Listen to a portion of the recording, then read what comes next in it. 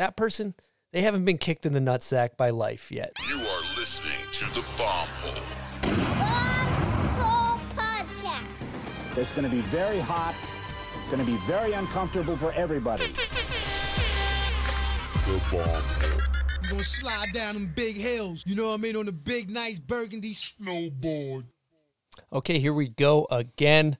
Another episode of the Bomb Hole. We're back in the booth with Stony Buds. What's happening? Uh, I was at my local Sevy last night. The word is there's squatters in Bell's Canyon. You go up there, they will uh, take offense and try to steer you clear of the canyon. So uh, hikers beware around Bell's Canyon. Okay, nice little PSA from Stony Buds today. Uh, today we have our most heavily requested guest, I think. We got Jeremy Jones in the building. What's going on, Jer? Man, not much. Um, thanks for the request. That's kind of a little overwhelming, you know. I saw that on the Patreon email I got. Uh, said that I was heavily requested, and Heavily. that's uh, you know, thank you. I'm looking at my notes here, and uh, you have a incredible journey. We got a lot of stuff to talk about, but before we get into everything, do you want to kind of briefly paint us a picture of what your childhood looked like growing up? Grew up in Farmington, uh, just north of here. Uh, just normal kid life, I think. You know, dad was going to work all the time. Um, mom was raising nine kids. Uh, there's two younger than me. One adopted Korean brother that I got. He's a stud, David. And uh, you know, just pretty normal. Got into skating uh, seventh grade and seventh, eighth grade and from a skateboard my brother got from Christmas actually. I just sort of inherited it and started skating. It was a Salba and that ultimately led me into snowboarding and finding out what that was and it was I actually just turned that skateboard into a snowboard by taking the trucks and wheels off, throwing bike tire over the top like little stirrup straps and just bombing my buddy's hill there in, in Somerset Farms in Farmington and you know normal kind of life, I guess, middle class life. Um, you know, support from my parents to some degree. We could get some things, had to work for most, you know, just pretty average, I would say. And, and yeah, and then I just sort of found snowboarding and then that just redirected everything. I just started chasing that and then everything was affected by it. School, family, friends, you know, everything went, it spawned from that, right? So that was always the base. It still is. Still is. So just to run that back, did I hear that correctly? You're there's nine people in your family, or there's nine? You have nine siblings. I have nine siblings. Holy shit, dude! Yeah. So we're we're a pretty stacked posse. Um, my parents split when I was ten, and then so that I mean that was different. You know, I had I had divorced parents. I grew up with that, so that's you know there's some trauma there I think, and you know, and, and I don't know. I guess running like there was that kind of run from it element, you know, and which I'm thankful for because it led me again to skateboarding and, and snowboarding, which is what I love the most. Well, One thing that's pretty cool too is the fact that a lot of people know you have a pro career as a as a snow as a snowboarder, but you're incredible at skateboarding. And was Thank there you. was there a point where you were going to pursue skateboarding before snowboarding? Uh, I think I would have wanted to. Uh, it definitely was a goal. As soon as snowboarding came online, I I just knew I was closer to that. I think, but yeah, skateboarding was is definitely that thing that I never got. I didn't pull it off, and you know, I didn't chase the dream totally, but I hoped for it, and I and I got better because I wanted to get better, and I skated with rippers. You know, there was so many good skaters around here, and it was just a matter of keeping up with them and and doing what I could to keep them stoked and play my part in that crew, right? And all that just got me better, you know, to to what I got, which was not even close to being a pro, but And you had a best friend growing up, Shane Justice, who we lost. He was maybe could have became a pro skater back, and I know you skated with him. yeah, I mean, he was really good. He was one of the best kids around that I had always heard. Yeah, um, yeah. Shane was. I mean, he's a legend, you know, around these parts, and R.I.P. And he, yeah, he was, he's, yeah, just uh, all of that, all of that. He was one of my best skate buddies, you know, in older years where we are filming parts and uh, went through first two years of my marriage were pretty rough. You know, we get you get married, you don't know what to expect or what you're in for. Really, you just know that you normal life you go and get married and then you have kids, right? If you're kind of patterning that and and I was just sort of on that path. I knew I always wanted a daughter, even before I knew I wanted a wife. Um, and I just didn't know how I was going to get there when it was going to come. Then it started linking up, and and marriage was hard, dude. I was filming snowboarding. You know, we were pinned at that time. That was like towards the end of forum ish, and we were just pinned, and that was hard for my wife to adjust to. She didn't know snowboarding. She didn't grow up in it. She didn't grow up in skating. She didn't know what that that passion looked like. And I just, you know, we were going through a rough time. And in that two years, I hooked up with Shane. So back to him, and and we just skated like we just skated our lives out. And he was he was in a phase that I was unaware of. Um, and which ultimately led him to to his death. But you know, in those two years, it was me and him just filming, and we were we were just all about it. You know how like let's get some money and film, let's film some stuff, let's film whatever, and and then we were putting video parts out with Dirty Hessians, a little local skate video. Andy Pitts, respect, brother, did a good job out here, and yeah, and then I had a video part and couple of those, and there was one dedicated to him called Loco. That was his uh, his graffiti was Loco Fuck. That was L O. C O F U K. Yeah, and it was tag. yeah, it was a one. sick tag, and it was big block letters, and um, you know, we had a lot of good jokes, and we just had a lot of fun, man. That was that was my dude with skating for sure, and He was definitely a Salt Lake legend. Yeah, man. Losing him must have affected you in a major way, I imagine, at And that what age. and what age exactly too? To be clear? Uh, that would have been 24, 5, 24, 25, 6, eh, right in there. Yeah, he's, I, you know, it'd be nice to have him around, but he's, you know, he's always there, truly. Like, I, I feel Shane, I, I do tricks and, and Shane's in my head, like clear as day. I can, I can, it's like I'm feeling what he must have felt when he's doing a trick. Like, it kind of connects with me that way. And, and skating, you know, it's been a part that's kept skating with me and that drive to always get back on my skateboard is is heavily attached to that, you know, more than I even think now that we're talking about it for sure. That's cool. Okay, well, I was gonna kind of keep things moving since we have so much stuff to cover, and talking about the Forum Eight. That's obviously a big thing that comes up. And for some people, some listeners might not know; they might be too young exactly what the Forum Eight was. And essentially, you guys were pretty much the biggest crew, the most. It was almost like a boy It's like band a boy band. like you guys say. were larger than life and um basically kind of in that era when you guys were getting flown around the world you're the biggest names in snowboarding can you paint a picture of like what that looked like you know uh, that time period in your life that's a vague loaded question but Well, it was a blur to some degree because we were just pinned, man. We were doing our thing. Like we were, we were snowboarding. You know, we we came into it.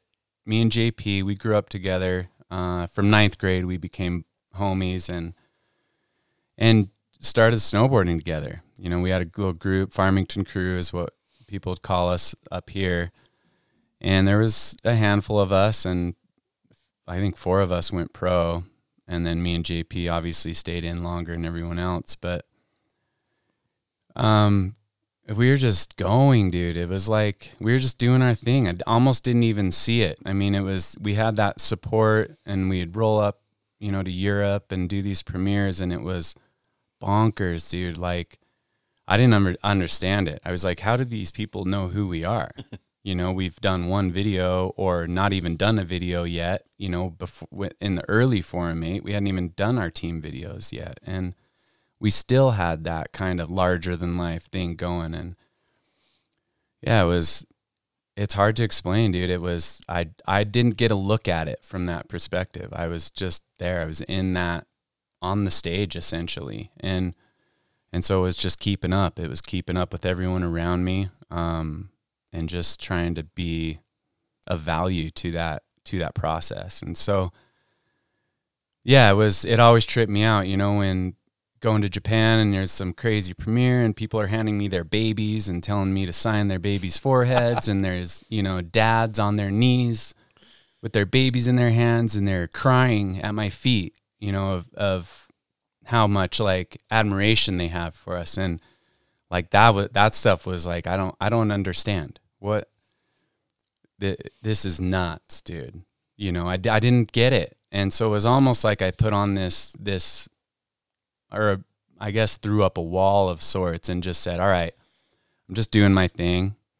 I can't get too attached to this stuff because it's just too intense. Like this, I'm just I'm with you, dude. Like I'll get on my knees with you. Like I'd much prefer that than you kneeling in front of me. This is crazy, you know. And no, I'm not going to sign your boobs. No, I'm not going to sign your face. Definitely not going to sign your kid's face.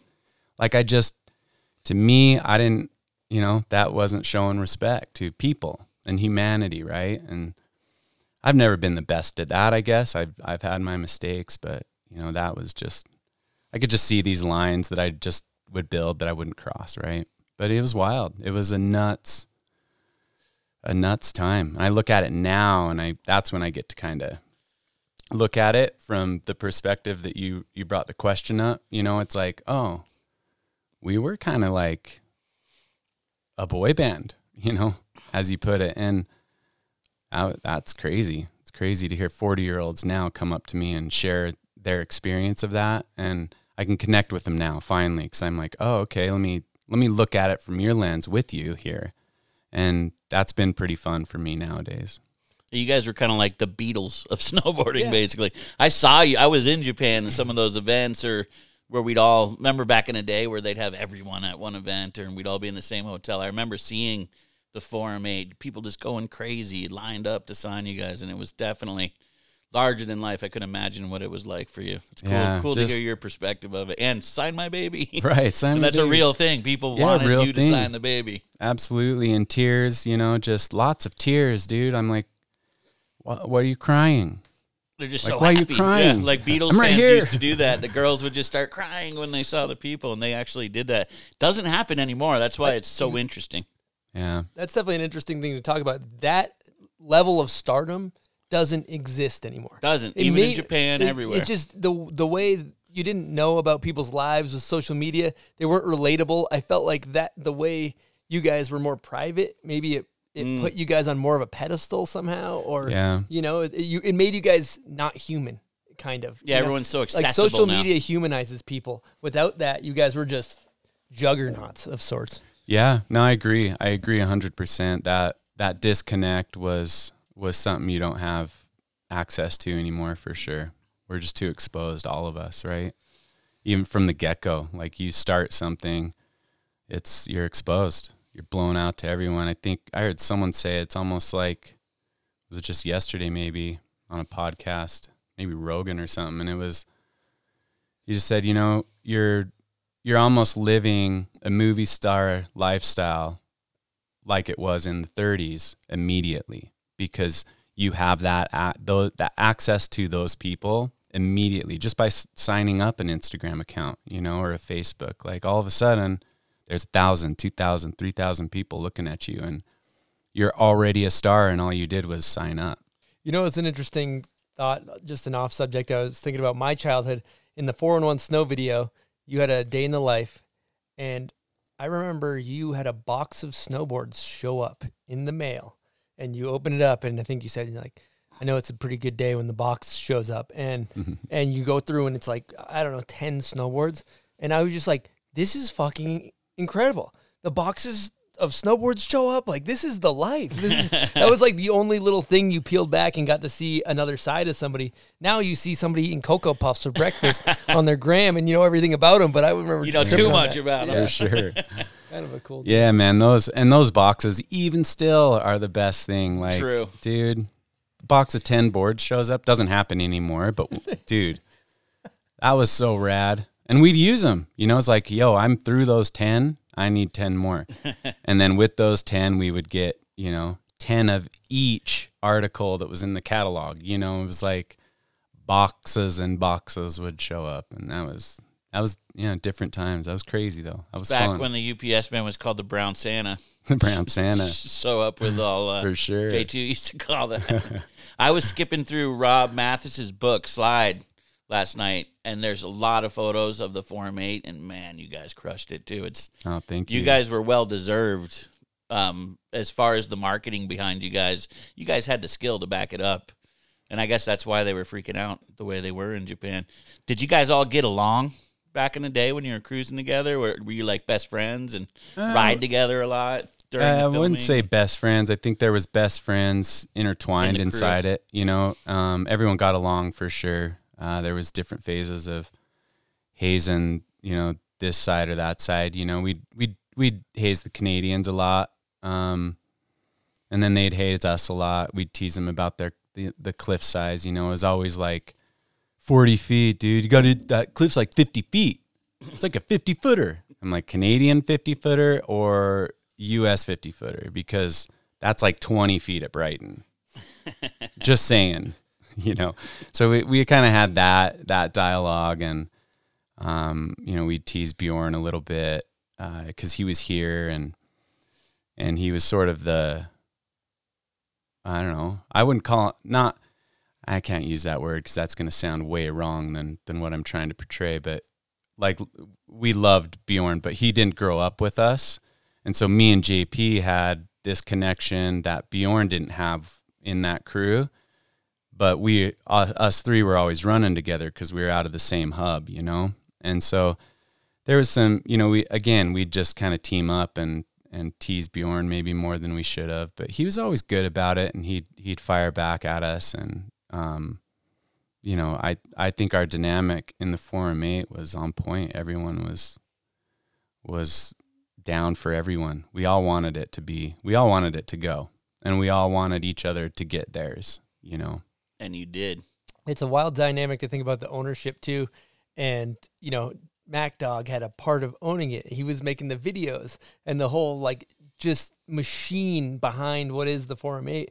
But we were speaking yesterday and you mentioned uh incredible kind of lesson you learned after you had filmed for Decade and in the editing bay for technical difficulties. Do you want to kind of Oh. dive into that? Yeah. Um, yeah, just a good video part lesson. Uh, I, you know, I filmed some skating. We filmed each other all the time, but we'd never built a video part on that level. Uh, JP stepped into Simple Pleasures with MDP and crushed it, right?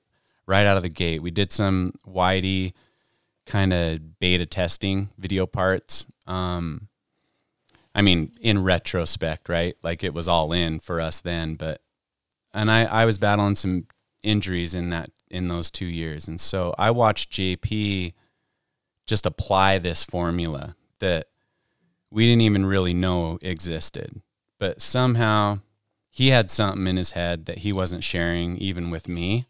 And i don't know that he had fully i can't speak for him so i don't know that he had it totally programmed in his mind once he had that chance. But me and him went out with dogger one day um, it was the first time it was kind of like Dogger and Peter came to Salt Lake and we went out with them. It was just me and JP. We went out by the cooler. We call those jumps in back of uh, Brighton there, MFM jump. MFM jump. And we went back in that zone and and I I couldn't snowboard. I just put on the worst showing, right? And JP put down the heat. And that was in front of Peter and Mack Dawg. So I'm not looking that sweet right out of gate.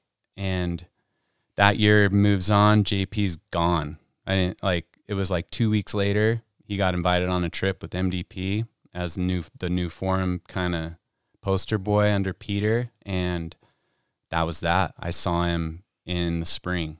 I didn't see him for two and a half months. And then he drops that simple pleasures part and it was mind numbing, you know?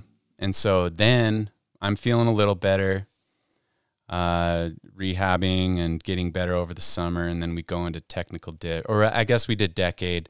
I did a good decade year. Um, not what I wanted, but we had a good year. And then we, and then my back acted up again and I was about 18 months out. and then then got into technical diff and I came in late to film that, went to New Zealand, thought I was crushing, right? Like put down a bunch of footage, um, makeup footage, like I got to get a part in this thing.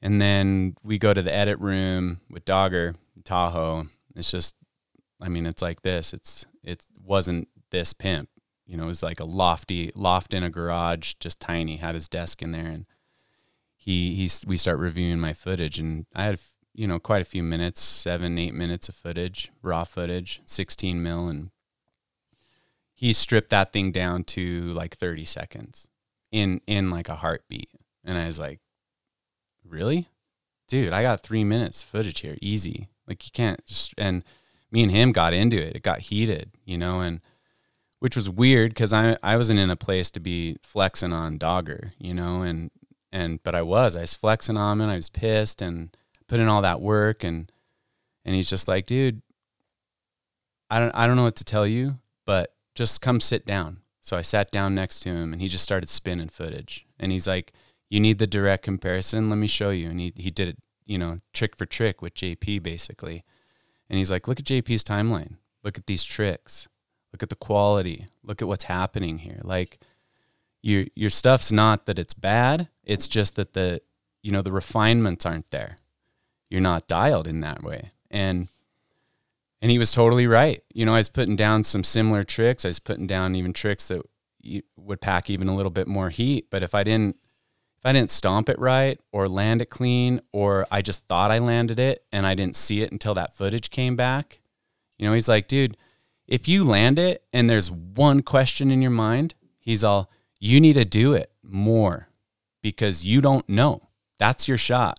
When you're on film, that's your shot because you're going to see this transfer in two months and then you're going to notice that you drag a hand and that's not going in and he was that strict, you know, and and so that was it was a really good lesson. And so from then on, I was just, you know, we made our beef and and uh, settled it, and and he had my back from then on because I put in, I put in, and he saw it, and and I'd pass on that information to the kids that would come in underneath us, and he saw that too, and so he he just kept bringing us in and, and wanting us in the videos because he knew we would we'd put out, you know, and then we're sitting on 19, 20, 25 minutes of raw footage on film and we're stripping that down to 3 minutes, you know, and like that became our thing. Let's see how much raw we can get. And so it was like, let's see how much usable raw we can get. And that's that became the thing. You didn't have 15 minutes of raw footage, you, you maybe had a part, you know? So obviously you took Dogger's advice because when you fast forward to your resistance part, you fucking went dummy. And there's some funny things I want to talk about with that because that part was damn near 20 years ago now. And you know, in that part, you have like shirtless back nine on on uh, up in the Valley of the Cornices, you know, and you have like these huge cliff shots at Brighton. And nowadays, I see somebody, oh, like I said, almost 20 years later, go to those same features, eh, go smaller, True. and people are like, "Holy shit, that was incredible." Do you sometimes feel like you know, in some directions, you look at the guys that they're they're pushing the envelope, but it almost feels like in some directions it's taking a step back at times. In when I watch those old videos, Yeah, I mean, yeah, I have to answer yes because it. I I can't say I haven't had those thoughts. There's been times for sure that I've had them more intense than I. I don't. I don't think I think of it like that anymore. Um, but yeah, I mean that again. I think I'm gonna throw that back to Dogger because if you if you have a director and a filmer and you know that that's their stance, then why would you do anything less? Like if you knew it was less, then you're it's just not a made trick when you get back in the truck or the car and head home, right? Like so I don't know. I mean, everyone's going to do their thing. I think I think it evolves differently. I don't think the evolutions necessarily has to be a better trick off of the same cliff. You know, I think it can be a lesser trick in terms of technicality, but you know, was the style on point? Maybe they just, you know, a big method on the val and on the shirtless Mc, McTwist nine hit you know, a big method that's like six feet higher than that McTwist 9 was and fully clothed and tons of style. Fully clothed. You know, like I don't know. You might dock a couple for that though. I might dock. Dock? You might- points- Fully clothed. docking points on that. you know, you, and you might, but it, it, like to me, it's you know that's that's just as valuable of a trick because there's you know there's first of all straight airs are hard, straight really big straight airs are hard, and and then to style one out and have it have it be you know something impressive. I I just think that's that's an evolution of it, you know. And even though a method's been done and a styling method's been done, I mean, Jamie mm-hmm. Lynn coined that years ago, and and that's that, you know. He's Jamie Lynn's the method.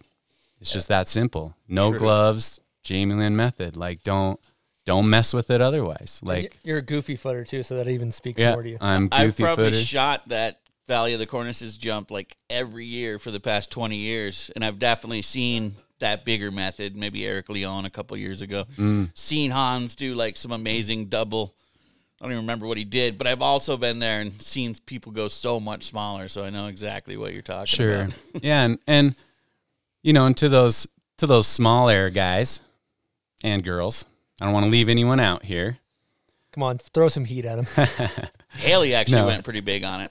Hailey did. Hailey Langland, yeah. Oh, that's good. Good for her. She's a boss. But you know, I I don't know. Small Yeah, I don't know. It's just different, different times. You know, ask me this question 10 years ago, you would have got a way different Way answer. different answer, maybe. well, can you just tell us the story of why the shirt came off on the back nine? That's what I want to know. That photo is amazing too. It's right Well, over thanks. your shoulder in the Yeah, and scene. looked at Rob that for a Mathis minute. photoed it. Yeah, Mathis photo. Um, yeah, it was a good crew. JP, we Heine, we shoveled that thing out. Um, Kearns was there filming. You know, I just I I had a plan. I wanted to do a McTwist and I wanted to do a McTwist seven. Um, I did the McTwist and it was felt awesome, and I wanted to just sit on that. And then JP comes through and switch McTwists it, um, almost just as high, right? That's a kick in the ball sack. Yeah. And What so are friends for? yeah.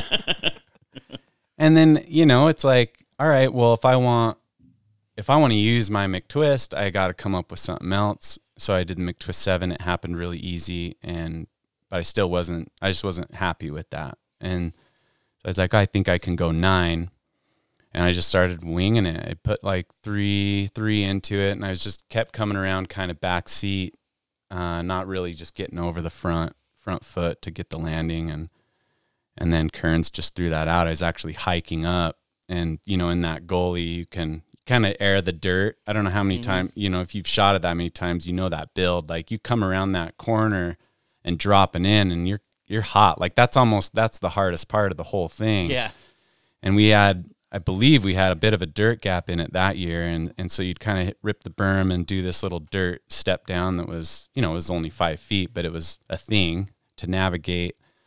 And Kerns just, I was right at that dirt patch hiking up, and Kern's was just like, I think you should take your shirt off.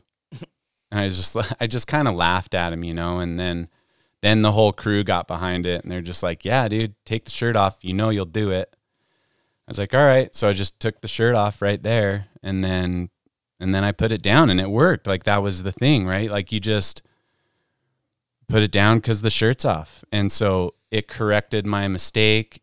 But that being said, I never liked my McTwist 9. It, it, I, it made it in because the shirt was off. If I had my clothes on, then I would have kept doing it even after that landing because I would have wa- I wanted to clean it up. I can still see even now I watch the shot and I'm irritated because I come around, you know, that last 180 and I'm just back and I have to kind of throw my arms to get my body over that front foot and that was to me unacceptable. Like it, it at that time like you just didn't you just didn't while out like that. Like keep your scene together in the air. Otherwise you're not a pro. Like pros keep it together. And if you're not a pro, it's totally acceptable. You can you're learning, right? But when you're putting something out on display and you're committing to film too. I don't know. It was just a different different process. So clothes on, I probably would have kept going, done it different. Nowadays they're much looser, huh? And you guys, you guys were setting the bar at that time. Yeah. So it's like that. You know, you kind of have to think like that when you're the one setting the bar. I feel like as well. Yeah, and it, yeah, I don't know that it was. I felt like we were setting the bar. Um, I felt like getting back to Dogger. I think he set the bar for me. He told me what is going in and what's not from that that argument we had, you know, and so then I knew. I was just like, dude, like that shirtless shirtless McTwist. If Kearns wasn't a part of that, probably wouldn't have gone in. you know, Let's give him a little air horn. Yeah. yeah. Let's give him an air horn. Going back to sitting down Both of them. with Mack Dawg and he's showing you your best friend JP's clips and he's comparing JP, your ninth grade friend. Was that like something that maybe pushed you further because you guys grew up together? And then here you are looking at JP's dope put together part, and then he's like, This is what you need. Did that push you harder, him being your best friend? Absolutely. I mean, and and never never in a competitive way where it where it was the take the dude out scene. It was just like, you know, it was always like, yo, if I want to hang with this dude, this is where I got to be.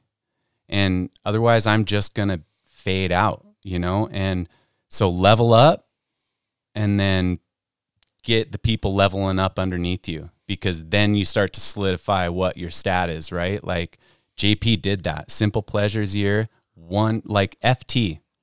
He just came out and just laid it down. And so that was the example, you know, and and you know, put up or shut up. Crazy you guys say. came from the same school like that. That's really interesting. That's perfect. And that actually brings us to the guest question. Now, the guest question is presented by Salomon Snowboards. If you're looking to get yourself a nice price point snowboard, get yourself a Salomon Sleepwalker. That's what the kid Tommy Gesme rides. And uh, yeah, highly recommend it. But that brings us to the guest question. And this one is from none other than the man we're talking about, JP Walker. What, really? Jeremy Jones, it's your boy oh. JP, calling you from Canada, homie. I escaped the USA for a little bit, so I got to phone this one in, but I had a question for you. We were filming for The Resistance, I believe, and got a call from Kurt Heine. He had some stuff set up at Timberline, wanted us to fly up, but we didn't think the weather was going to play, so we weren't really feeling the vibe, but he insisted, so we reluctantly boarded a flight up to PDX. And when we landed, grabbed our bags, walked outside the terminal, took one look at the sky, saw clouds. And what do we do next? Let him know. Love you, brother. little tearjerker hearing his voice. That's Yeah. my boy.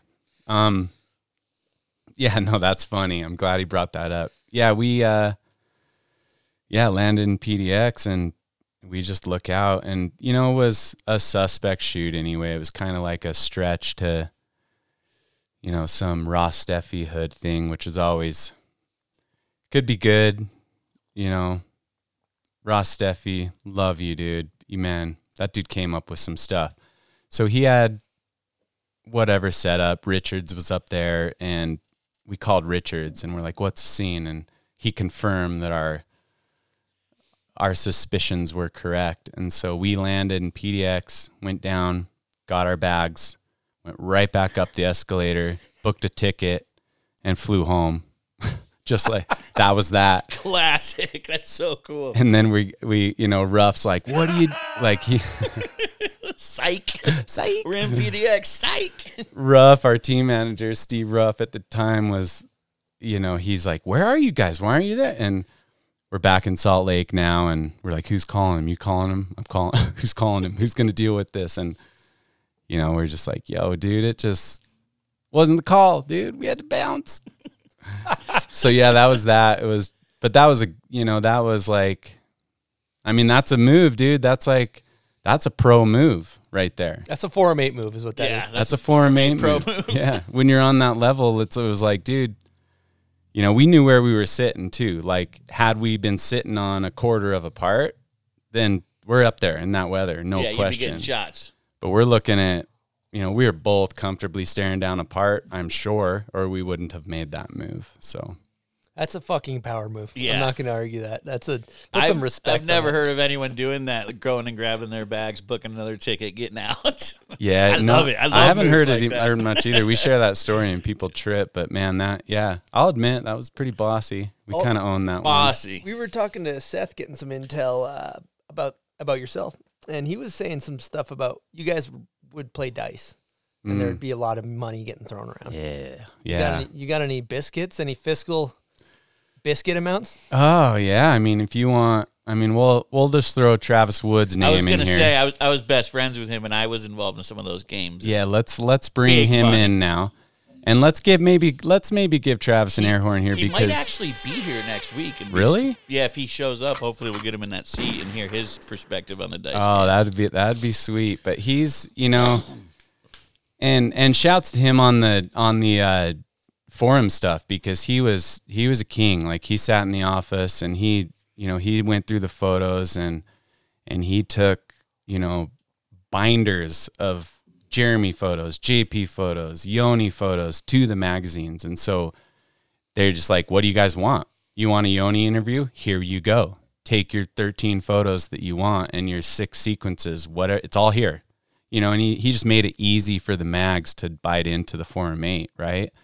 And obviously they wanted it, um, and we're paying them. Everyone's paying the mag, like Forum and Four Stars paying the mags from you know, Blend, Foursquare, Forum, Circa, all over the place. Like they were, you know, raking it in off that. And what was the question? CeeLo. How much See- biscuits? How, we're talking. We need to know numbers here. There we go. Okay. So let's get into, we'll just go in straight numbers. So we started doing CeeLo, rolling dice, um, and it was $1 bets. Had to be, cash had to be there, right? Or you don't play. Yeah. that quickly was gone. And I think it was Bjorn that probably started doing the the kind of ghost money, like let's just pretend we have it. And so and then all of a sudden, dude, we're in the corner of some Europe um after party playing CeeLo and you know, I'm not drinking, I'm not partying, I'm just trying to kill time, really. And so that's what we end up doing. And dude, we lost so much money. Like I wrote, I think I was up to 17 grand in silo, fake 17 grand. yeah, I still laugh at myself for it.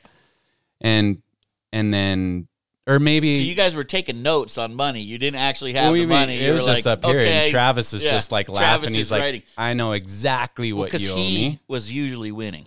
Yeah, he won. He won. So he he racked me up. I think seventeen. He racked uh, BJ up around twenty one or twenty three grand, thousand dollars, Yeah. dude. You don't mess with wood and money. So this Yeah. is this is a lot like the scene in Dumb and Dumber when he shows up with a briefcase full of IOUs, yeah. Yeah.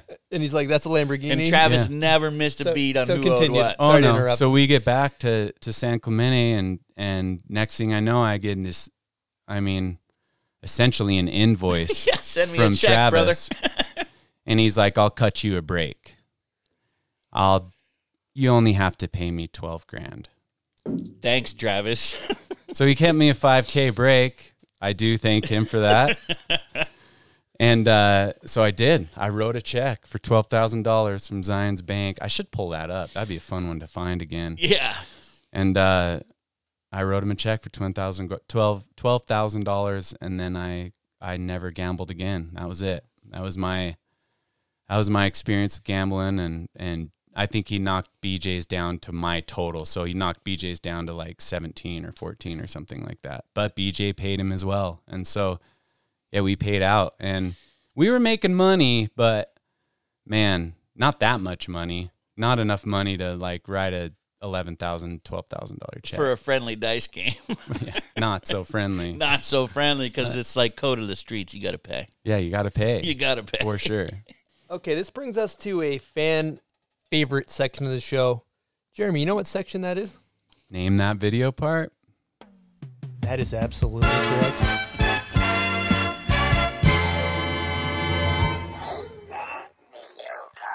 So, Name That Video Part is presented by the Dew Tour. It's one of the most progressive events out there.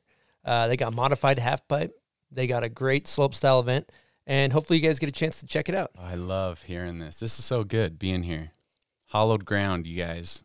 Truly.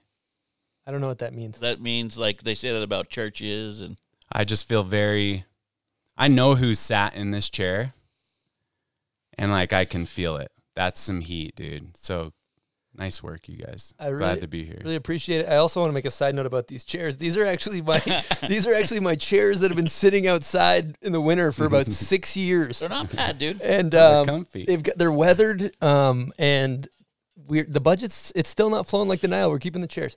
So how are you feeling as far as uh, confidence level one through ten about this? Oh, zero to one. Really? Yeah. So point five, we'll we'll put them down for a point Give five. them a point five. yeah. Point Okay. five. Okay. Here we go. Really? I'm for sure gonna say it wrong, Anna, aren't I? Um. So that's JP, Yes, that's correct. but I could have easily said that wrong. Just because it like it again, it all blends, dude. Like all I blends. know JP's part because I sat through the edit, the whole thing, and then, uh, dude, you guys hooked me up on that though. That was a meatball. Chris Well, is pretty what- nice what about we this thing have- because it's a participation award. It is. I just want to give you this cooler. We got an igloo cooler filled with bomb hole merch. dude, thank you. He makes it a little bit harder on the viewers, I think. You know, this morning it just you know what I just thought the JP part was the part. Yeah, Yeah. that's a classic one. We should put that one in the show notes too. Yeah, that's a Yeah, that's The such resistance- good that part up. He's Yep. driving around the Mercedes with the he's got like the chain and all on this the stuff. gold fronts. He still has them, and yeah, dude. Does that he still was- have those fronts? Yeah, yeah, yeah. Um, I liked when he used "This is how we do it." yeah, that was such that's a good one. Yeah, Man. shake down the front board through the kink. What a was- song to use for a video part. No, he he was always good at picking songs, man. He was. He put some good ones in. Thanks for this. This is. I've been chomping for one of these. I I wanted to offer money for one and Ha! to get one before, but then I thought I'd take my shot at this, and I thought for sure I'd get it wrong, but you guys hooked me up. It's Well, a participation. we're thing. stoked We you got left one, you. Jeremy. You wouldn't have left empty-handed. Yeah, absolutely. All right, so for part two of name that video part, this one's for the listener viewers. Comment on the Instagram for a chance to win what, buds? Prize back. That is absolutely correct.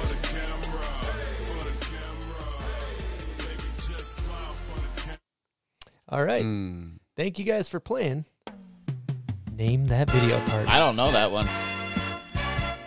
Not that that's a surprise, but I think I know that one.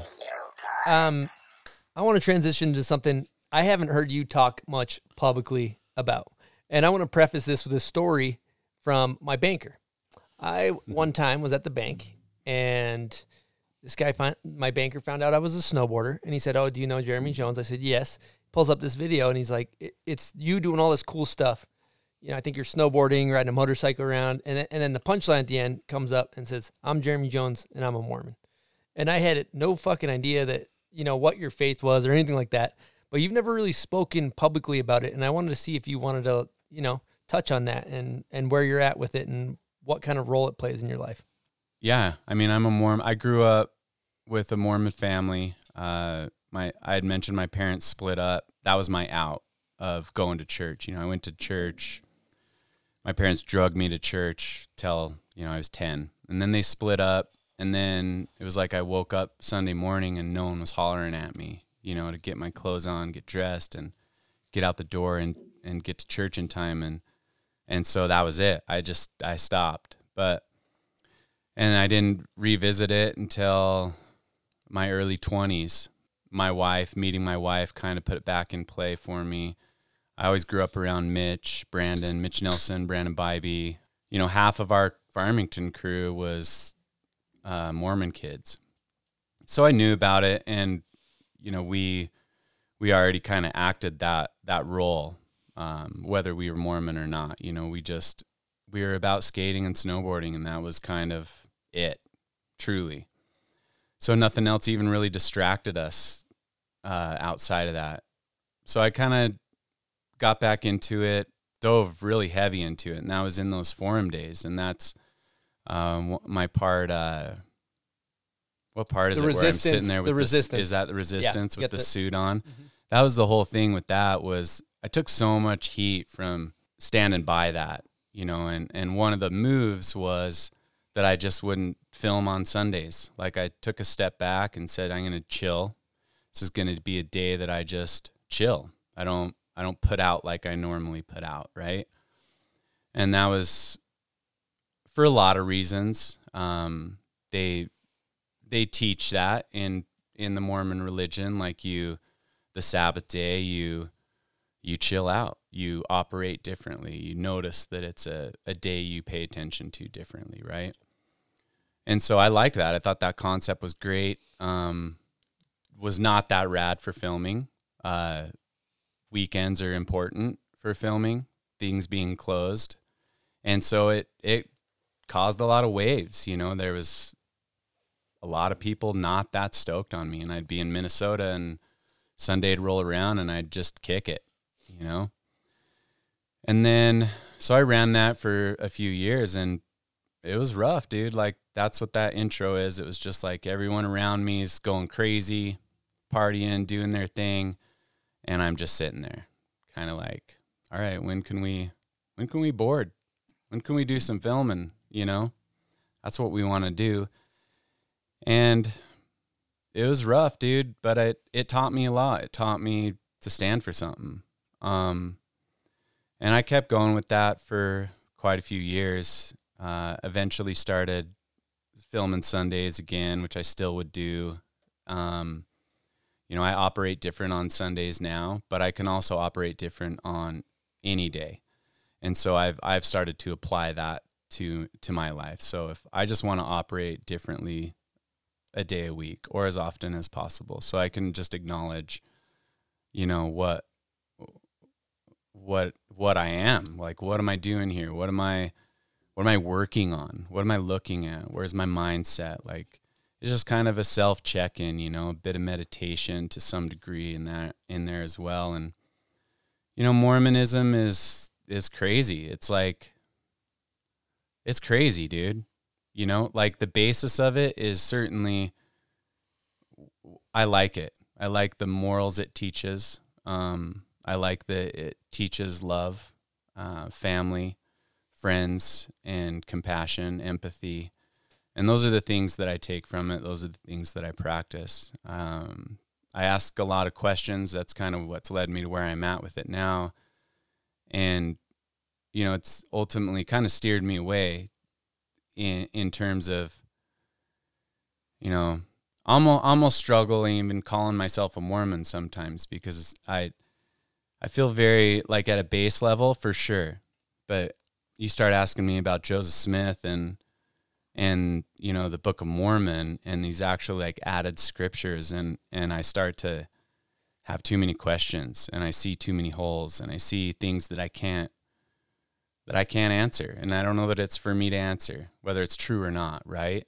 But I do know that the base of it all is our true principles. And and they're what I what I said. Like I I've proven time and time again that when I love, it it gives back. Always. And and when I love, all my selfishness goes away. And so when I give that, I get more. And it it it almost starts to feel selfish because I'm like, oh, I, I just, you know, I don't know, thinking about my wife. That was something we learned, and I just, I one day just like, you know what, she's first in everything. Everything I do is cross checking it with her. And when I started doing that, dude, I I was skating more. I was snowboarding more. I was she was more comfortable. I was more comfortable. We we became we worked better together you know and so that's a principle that anyone can get anyone knows love you know you feel it learn to apply it uh, you don't need religion necessarily to teach you that but it's it's a heavy focus in mormonism and family and like i mentioned before i've always wanted a baby girl you know and i i wanted a family and so i have a, a son and a daughter and and that's like to me that's that's what religion is to me. It's my family. And so that's where I'm at with it now. Uh, yeah, it's a it's a it's a tricky one, you know. And that that video though is probably one of the most seen videos that I have You're talking out there. about the one that my banker. the said, your yeah. banker video, this I'm a Mormon video, and there's hardly any snowboarding in it. I think it's like me at Brighton putting around. I What haven't kind of even views we talking? I I don't know, like 350,000 maybe, something like that. I just learned that from a friend. I haven't even clicked on that thing. He was just telling me the other day 10 million and I was like, "Dude, you're tripping." Yeah, 10 I'm all there's no ahead. nothing has that and then he's like, "Ah, I was a little bit off. I think it's like 350." Cuz he went and googled it little or bit something, but but you know the and I just always, you know, my thing was look, I didn't go on a mission. I didn't go on a Mormon mission. I stayed here. I had friends that went. Um, I saw how it changed their careers. I wasn't even there at that phase anyway. At, at 18, 19, you, you kind of make that decision. You're going to go on a Mormon mission. And I wasn't really where I was at then. Um, but I, I visited it. You know, I looked at what that would look like. And I just decided that I was like, no, I can, I can make an impact by, by just being me standing by me and and being me you know? And and we'll see what that does. I think i can touch people. And then i had that that video you know as a good reference to that. And you know, i have missionaries come up to me and return missionaries. And it's like dude that was that was the only way i could get in talk to these people is i'd i'd show them that video you know? And then your banker you know? He made that connection with you. And I have story after story of that edit and and that's been a confirmation for me of that early on thought of just like you know this this is my role. My role is to is to try to make a positive impact somewhere in in people's lives and and I feel like the videos I've tried to do that you know not just that one but in the snowboarding as well. Like just just believe in it give it all you got and and put out a quality product and and people will feel it. They'll know. They'll know that it's the real deal. Well, that's yeah, that's really interesting to hear that take. It's it's kind of funny navigating this topic because like, you know, the minute religion, God, anything comes up, a lot of people I I'm maybe assuming, but I think a lot of listeners and stuff, they just they fucking bolt. They're like, dude, I got to get out of here. And that was beautiful the way you just navigated that, and it wasn't, it didn't feel weird. But a lot of people, they're like, especially from Massachusetts, know, they don't know. They think a Mormon has like seven wives, right? So, like, for a lot of people, don't know. It's like you guys, you guys don't drink. You don't, you you know, you don't drink alcohol. You don't smoke weed. You don't get fucked up. And on Sundays, you go to church most of the day. But what I wanted to unpack and get into was the fact that since you don't drink and since you don't get fucked up in snowboarding, that kind of makes you an outcast because so much of it is based around, you know, partying and going to the bar after. It's kind of like a recreational, fucking alcoholic, degenerate sport. So, did you feel like, you know, any of your relationships with your brands or companies you rode for suffered because you kind of followed those guidelines and didn't drink? Oh, for sure. Yeah, 100%. I mean, I you know, we'd always joke and it's not a joke, but contracts were signed at the bar. And that was always or at the party, right? That's that's where the deals were made and that's where, you know, people would walk away with killer deals. And and I wasn't getting them. I truly wasn't. Like I would I would, you know, the part of the reason I left Forum in the end there was there was just too many promises that were laid out in front of me, literally check boxes. You hit these, check these boxes, then you get this, you get this, you know, pro boot, X amount of royalties. Check this box and then you'll get your phantom stocks, which were exactly that phantom stocks in the end. So even those that got those got nothing. But all of these boxes I started checking, um, they were I wasn't getting uh, you know what I was promised, and that that's ultimately why I ended up leaving. It just was I could just see the road ending there. Like I wasn't I wasn't part of of that part of it, and and it hindered them. It hindered their their party scene. You know, it was something that it looked weird when they'd roll in with Forum Seven, you know, or Forum Six if JP decided to stick with me and. I mean, JP played the role. He'd run in there and he'd do the thing, and you know, he he didn't he wasn't a big partier, but he'd he'd run the races, you know, and I just wasn't that comfortable with that. It was never my, I never did it. I didn't go to high school parties often. I didn't, I wasn't like chasing girls. Um, I just let those things happen as they happened. I was just so focused on, you know, skating and snowboarding. It's it's sounds so kid and Daryl, right? But it, it that's all I could think about, dude. It's all I wanted to do. I think a lot of people think that when you're not drinking, you judge them. It's their own insecurities. Yeah. So sometimes, you know, if you have a partying team manager and you're not partying or whatever, friend, family member, they they feel like you, you think you're moral morally superior or some shit. And they're like, Why aren't you drinking? Why aren't you drinking? It makes them uncomfortable. So I could see how that would affect those Yeah. relationships with those people. And and did that not to put words in your mouth, did that kind of uh kind of expedite the move to Burton? Do you want to kind of explain that transition? Yeah.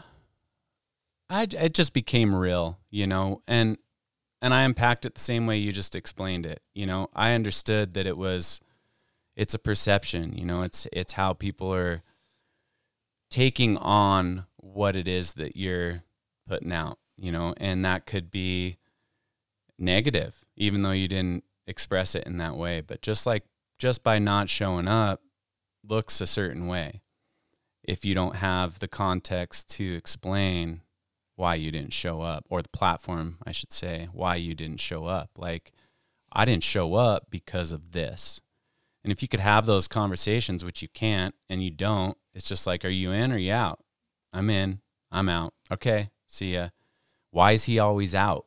You know no one really wanted to ask. And then once the question came it was like how do you how do you break that down into something simple in one word. It's like, dude, there's so many reasons why, but honestly, it's because I just want to wake up and skateboard tomorrow and like be able to do that. That's the simplest answer, right? It's not religion. It's not that I don't want to party. It's not that I don't want to hang out with those friends and and watch them and and cuz it's hilarious, dude. Like I mean, you know, like it's so fun being at parties and watching people just get buck. Like dude, it's entertainment. It's fun. And when they're, you know, when they're wasted out of their mind, it's almost even more fun. And so it, it was never that, but sometimes you don't want to be around it. You don't want to be spit on. You don't want to watch people throw up. You don't want to be a part of that part of it. Right. And, and really that's, that's it. But yeah, it just, it sped things up because it just defined that it was time, you know, and then, and then Downing kind of reached out to me and JP and we kind of had that Burton meeting, and that was that's all she wrote. Yeah, that's beautiful. I- want to circle back on one thing too, though I can touch on with getting fucked up. There also inversely is a camaraderie built between when you go out with a heavy night of drinking with a team, and everybody does come closer. And if you're, I could also see, you know, looking at play devil's advocate, looking at it from the other side. If everybody's out there getting fucked up, there's a camaraderie getting built. You're not a part of it. That's a different kind of, you know, just to kind of, That's exactly it. yeah, Yeah, and and again, I saw it, and I was like, "Look, I get it. I mm-hmm. get it. This is, you know." And it at first it was personal because I was doing the thing. That was the personal part. Like I checked that box. I came through with that video part that you told me to for that boot. I didn't get the boot. I came through with the next video part for those phantom stocks. I didn't get those phantom stocks. Came through with the next video part. I didn't get that raise. You know, it's like when those things happen, and then you got to start looking at it like, okay, what what's going on? And then it just all of it pointed to this. And so, how do how do we navigate that? And where's is there a better home? Is there somewhere that you can do what I'm doing and not have this sort of side effect? You know, which was that it was, you know, a team being a team, and unless the team understands everyone on the team and is part of it, then it becomes a whole. You know, if the one person's not there. Mm-hmm.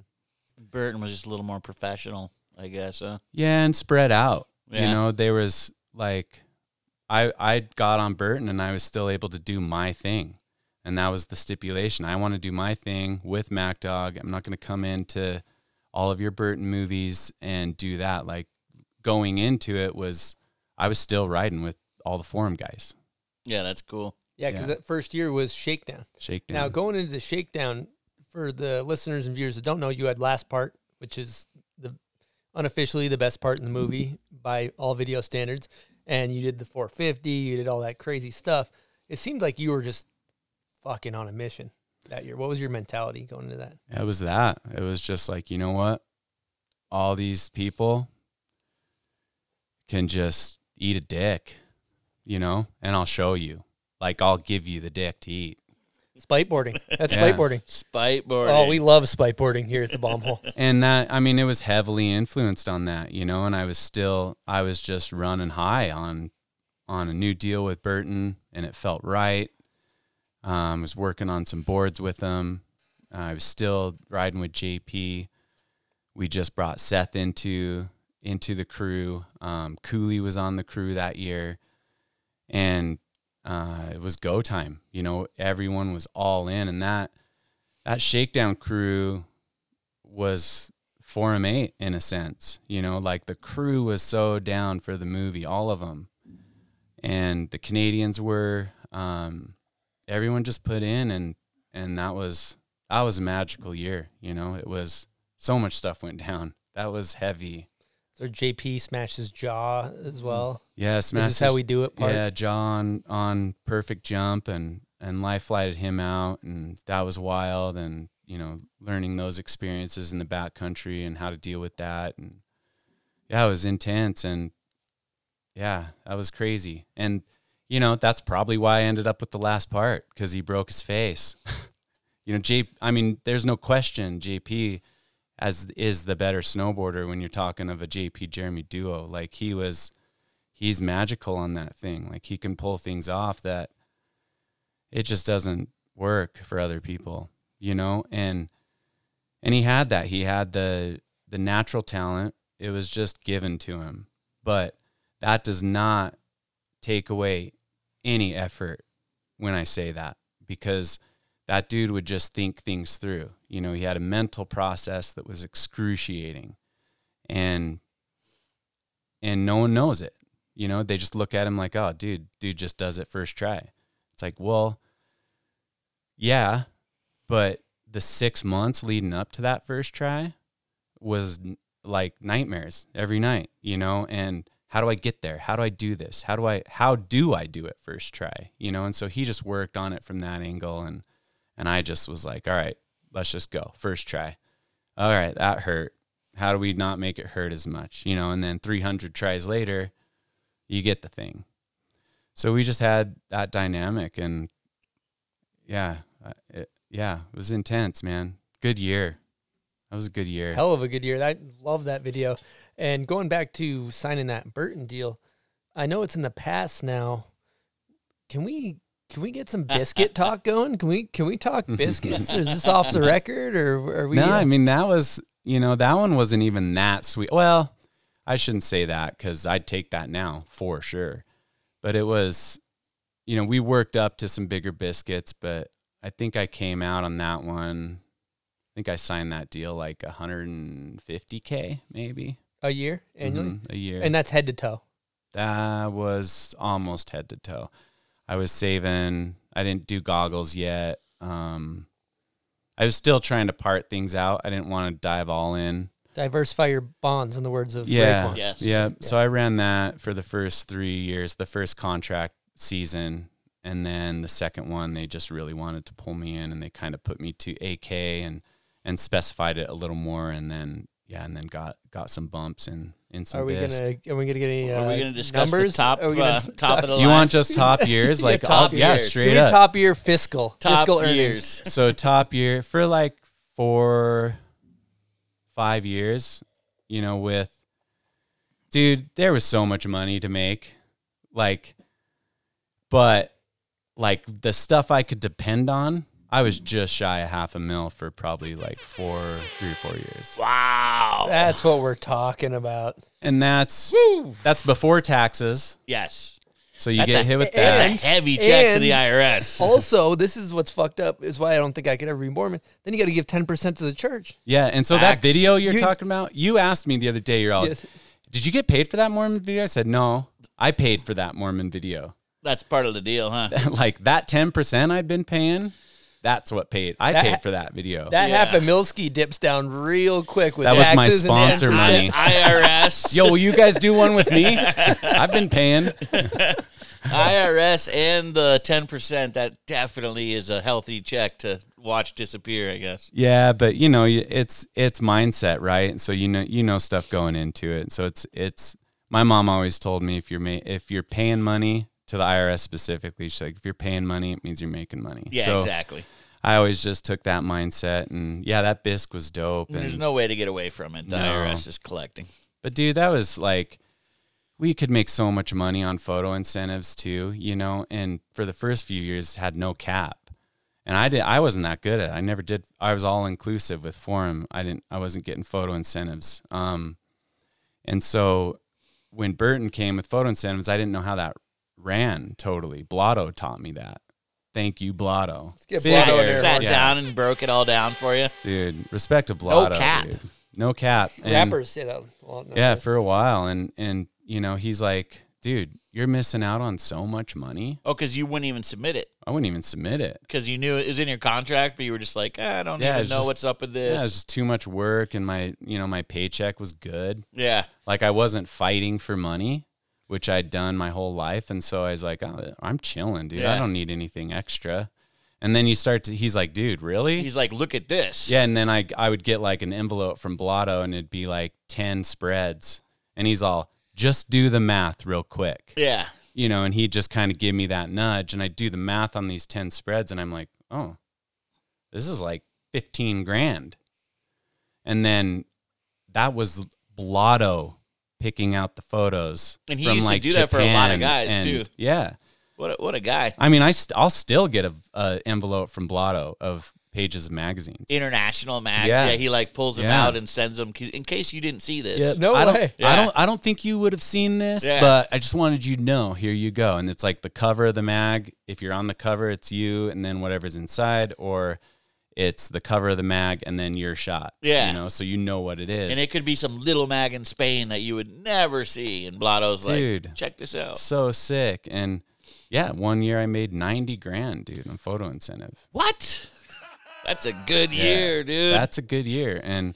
And then they started capping us. We moved into, you know, 30 grand caps eventually towards the end. and I don't even know if it exists anymore. That still helps with that ten percent too. Oh, You know, dude, yeah. chip I mean, and you just put it to that. Like, if you wanted to, you'd just be like, all right, well, that's what I, that's what that money is, you know. And that was all my my photo incentive turned into. Once I learned this, that was my tax. yeah, money. you're like, all right, sweet. so I, I would just, you know, do what I did, and then I would submit once a year just before taxes, and I'd get all that money, and then I'd pay my taxes. And that was kind of my my routine for a handful of years. Dude, I'm loving. That's some good years, man. Good for Yeah, you. yeah. Thanks. Well earned though, man. You guys worked hard. when you look at that era specifically, you know, you had JP Walker over there, and he's kind of pushing his first double cork, uh, first all a lot of first rail tricks, like technical rail tricks, I'd say.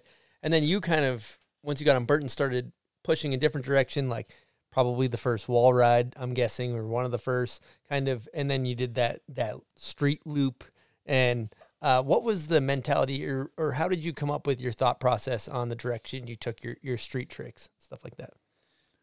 Oh, that just always came from year before. I mean, it was just a direct comparison to the year. Like, what did I do? Um, what do I need to do to kind of up my game personally? Like, how can I how can I feel like I can do this again this year? Like, create another video part, you know?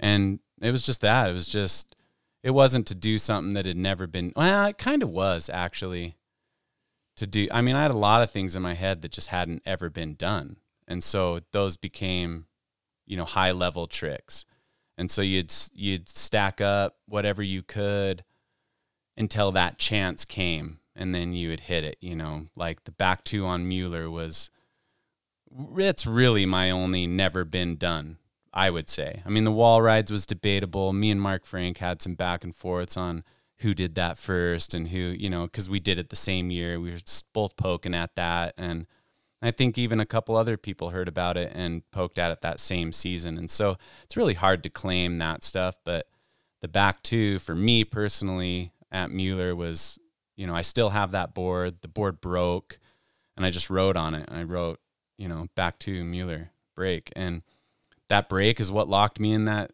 that move you know and it and it brought me off the end of the rail perfect and I wasn't still spinning like so many people do them, you know. Even still, it was just it was like the perfect one. And that's still one of my favorite tricks that I've ever done. Just because I can I can still feel the board just crack, and then I just felt it like lock me in on that square rail because it broke just on the on the inside, and it just like locked, dude. And that was that felt so good and. Yeah, you know, and, and same thing with JP, like his double cork, that just came, dude, because we would just do corks and he we'd always over rotate him. And he's like, What if you just stay tucked? And I'm like, Well, then you're doing a double. and he's like, I think this is the jump. And that's how that happened. It wasn't wasn't this big process. That one, he normally had things pretty thought out, but he had. He had been thinking about what that over rotation felt like for so long of us learning these other tricks. And then he just applied that. And that's how the double cork happened, you know? And so it wasn't, you know, there's this idea that you want to, you want to step up, you want to do stuff that's never been done.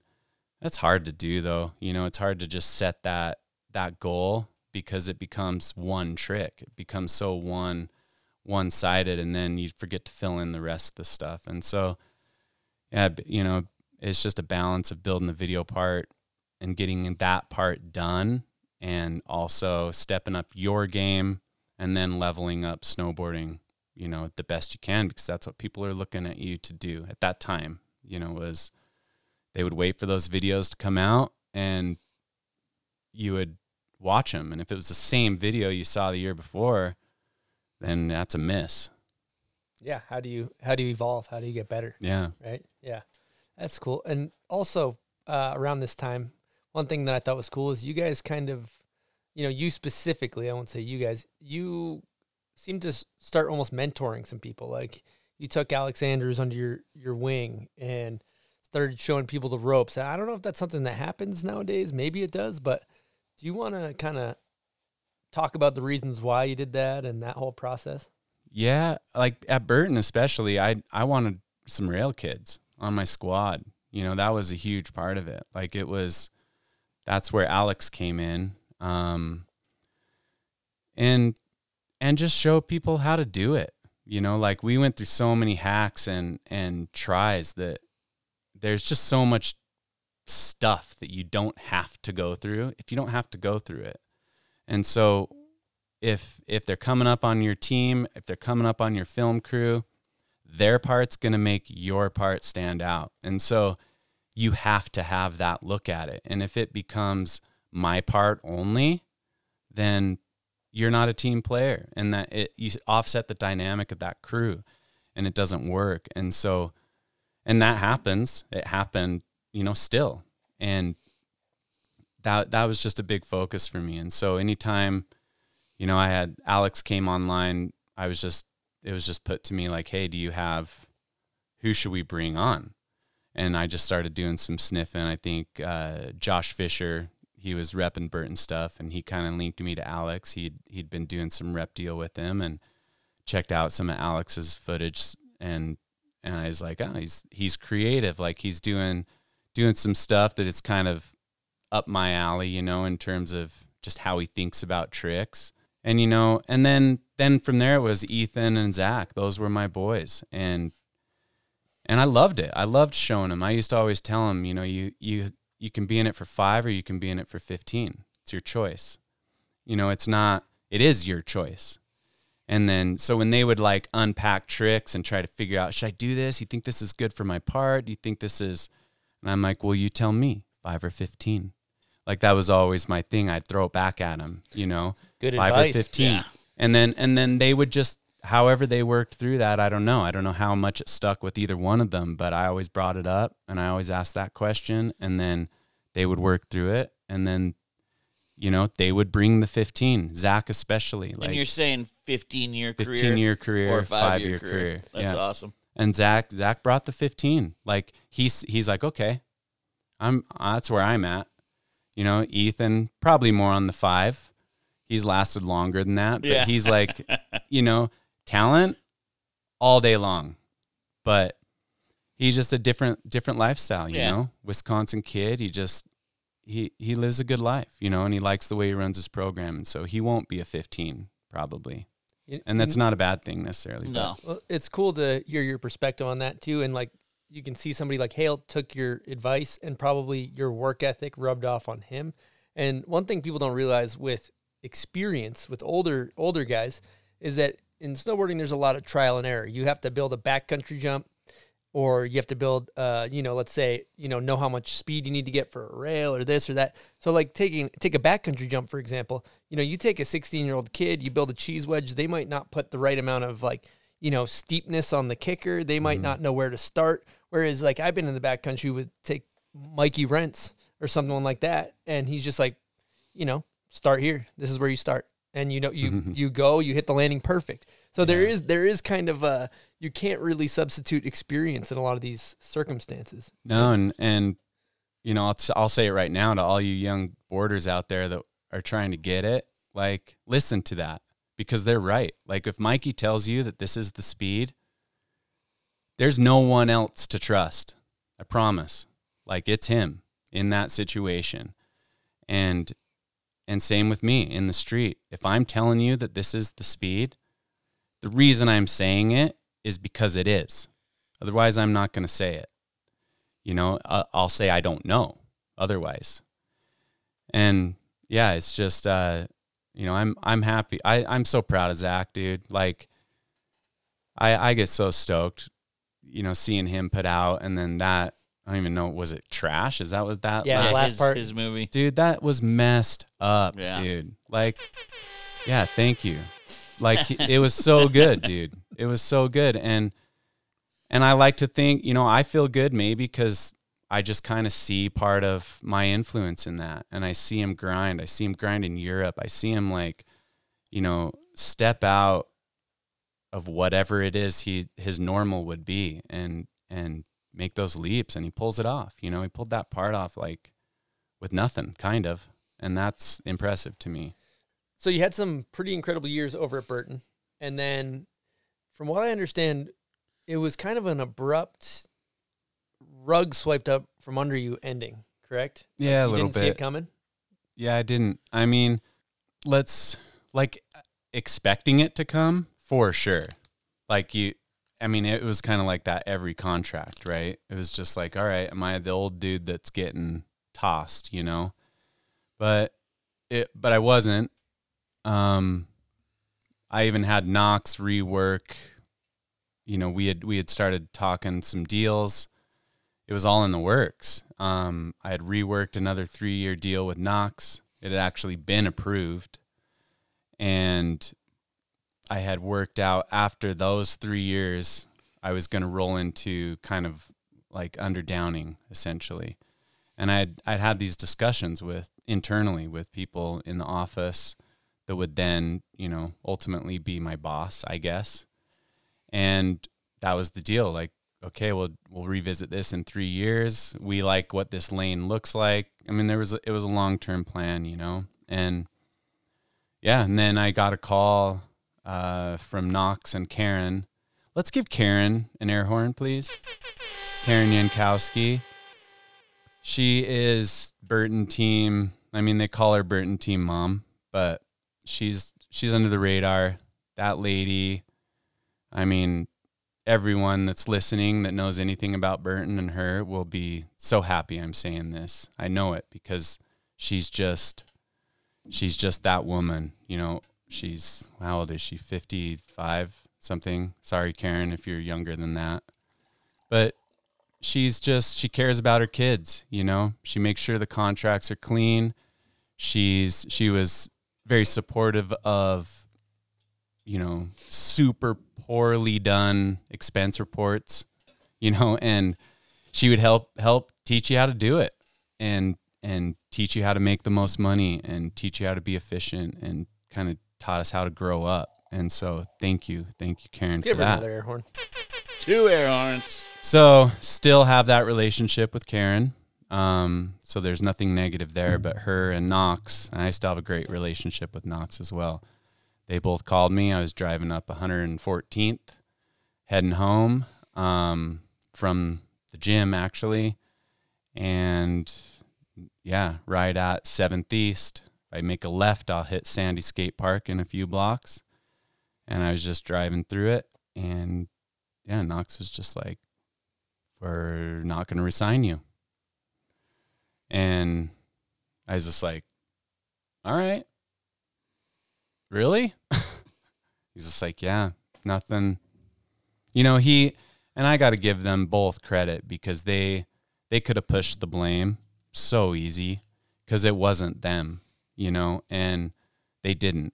They took it. They took it on the chin, uh, and so respect to that. But yeah, it was it was a raw deal, man. It was I was just had different expectations, and then when you're you're staring down November with no board sponsor, that's the worst time, dude. You know, like there's nothing coming online at the start of the season. You know, pe- people's got their deals already, and now I'm I'm on this Japan trip to Burton Rail Days, and I know that I'm getting clipped. It was just weird, you know, weird weird little end there, but but I acted pro. Went to Rail Days. Um, I wore a Bolts Action shirt instead of a Burton shirt, and it took a lot of crap for that, which was surprising. I didn't know why they cared. Um, but it, you know, I put on a show. I did my thing there. Hung out with the younger riders. Dylan was there. That's where I met Benny, um, little dust box kid. And I mean, he must have been 15 at the time, you know. I don't know how old he is now. How old is he now? 19, 16? Probably 20, 20. 20 ish. 20. And, you know, it was a good event and then came back and, yeah, a month later, deal was up and that was that. So it was rough, dude. It was, you know, I don't know. I don't want to blame people. I'm over that part of it. You know, I, I, I, I never liked the person I believe that pulled this trigger in the first place. So to still not like him doesn't hurt me. I don't, there's not hate. I'm not like harboring that. I'm not trying to sock the dude in the face. And if I see him, I'll just, I just will not be around like anyone I don't want to be around. Right. Mm-hmm. Well, it's kind of interesting to see, you know, a lot of brands, it's like, okay, there's a revolving door out with the old and with the new, Mhm. but we have a good gauge on who people are interested in with this podcast because we'll we'll put out a feeler. Oh, who should we have on the podcast?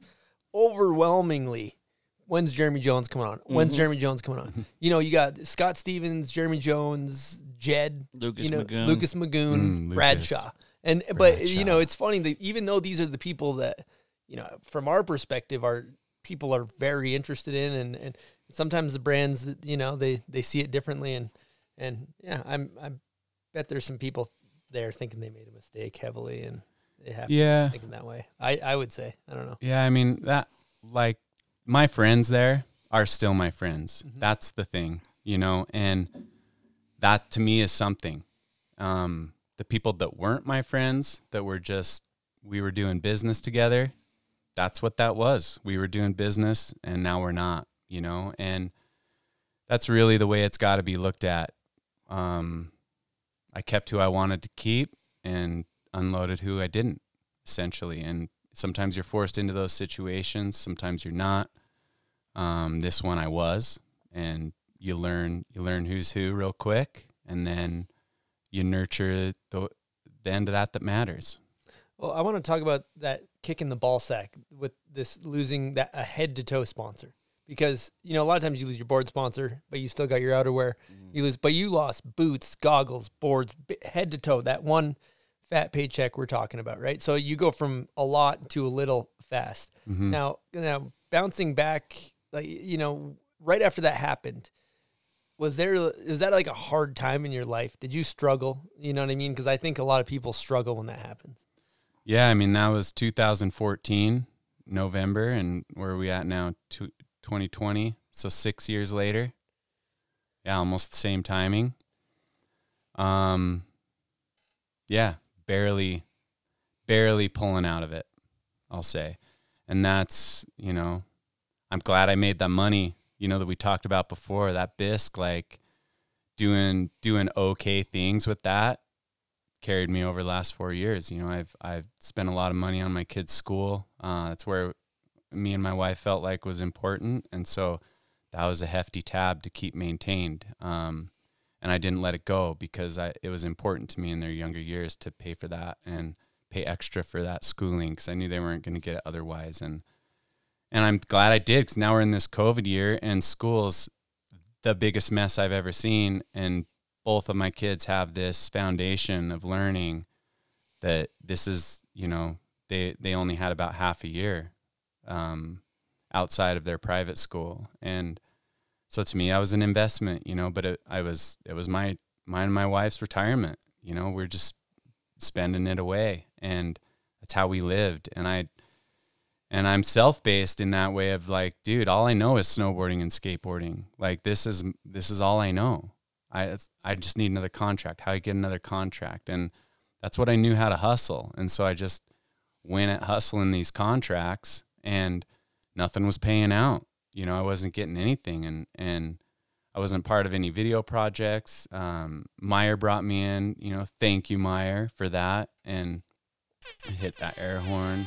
Yeah and he you know he he didn't want money from me you know he didn't want sponsor money from me if, of course if there was anyone willing to give it then let's try and angle it that way but he wasn't asking for it and he put me in that video and i just kept getting hurt because my mind wasn't in the right place dude i was on this hustle of like you know keeping i kept calling my finance guy and just saying yo i need more of my money need more of my money i got these bills to pay. I got this trip to go on. I need more of my money, you know? And my wife, bless her heart, just like, all right, you sure? Like, is this, are we going to turn this ever somehow, you know? And, but she knew, she knew the last 20 years that we had. She knew my mindset. She knew how I worked. She knew how I chased things. And, and so she believed in me. She wasn't hesitant about it. She would ask the right questions to challenge me and to put me in, like, put the thing in perspective for me. And that was super helpful. And yeah, at one point it was, yeah, like, this is, you know, I'm, I'm not going to do it. You know, whether I'm requested over and over on Bombhole or not, I'm not going to land those contracts. And to, and to be frank, like I'm, I'm not going to put it out like that anymore. You know, I'm 44, 44 years old. And like, all I love is filming, dude. It's all I want to do. I want to film video parts, but it's not, it's not going to be what I do anymore. I'm not going to be filming an ender, you know, for any movie. I, I do want to film a video part um, for me because I wanted to go out on a video part and I feel like I missed that. But now I, it was just, you know, it's took me three years, three and a half years to reframe what that, how that was pulling at me into something that made sense, you know, to like, you know, can I support my family? Can I still do my thing? And can I still love my friends? Can I love myself? And and still like pull all that off, right? And and ultimately, I mean, the answer was no for sure. Like no, you like it's not giving it to you. Like the the industry's not giving it to you. And although they respect what you've done, um, it's that's not how things work. It's not on, you know, it, there's this there's this proving period. So there is this. What have you done to get here? that's looked at. You need that that pedigree chart and you need that resume to to amount to certain things and get certain things if you're if you're reaching for it. But you know, it's just I mean, look at it. 44 year old dude. He's filmed 21 video parts in a row. Um, he just got wrapped around a tree in an avalanche.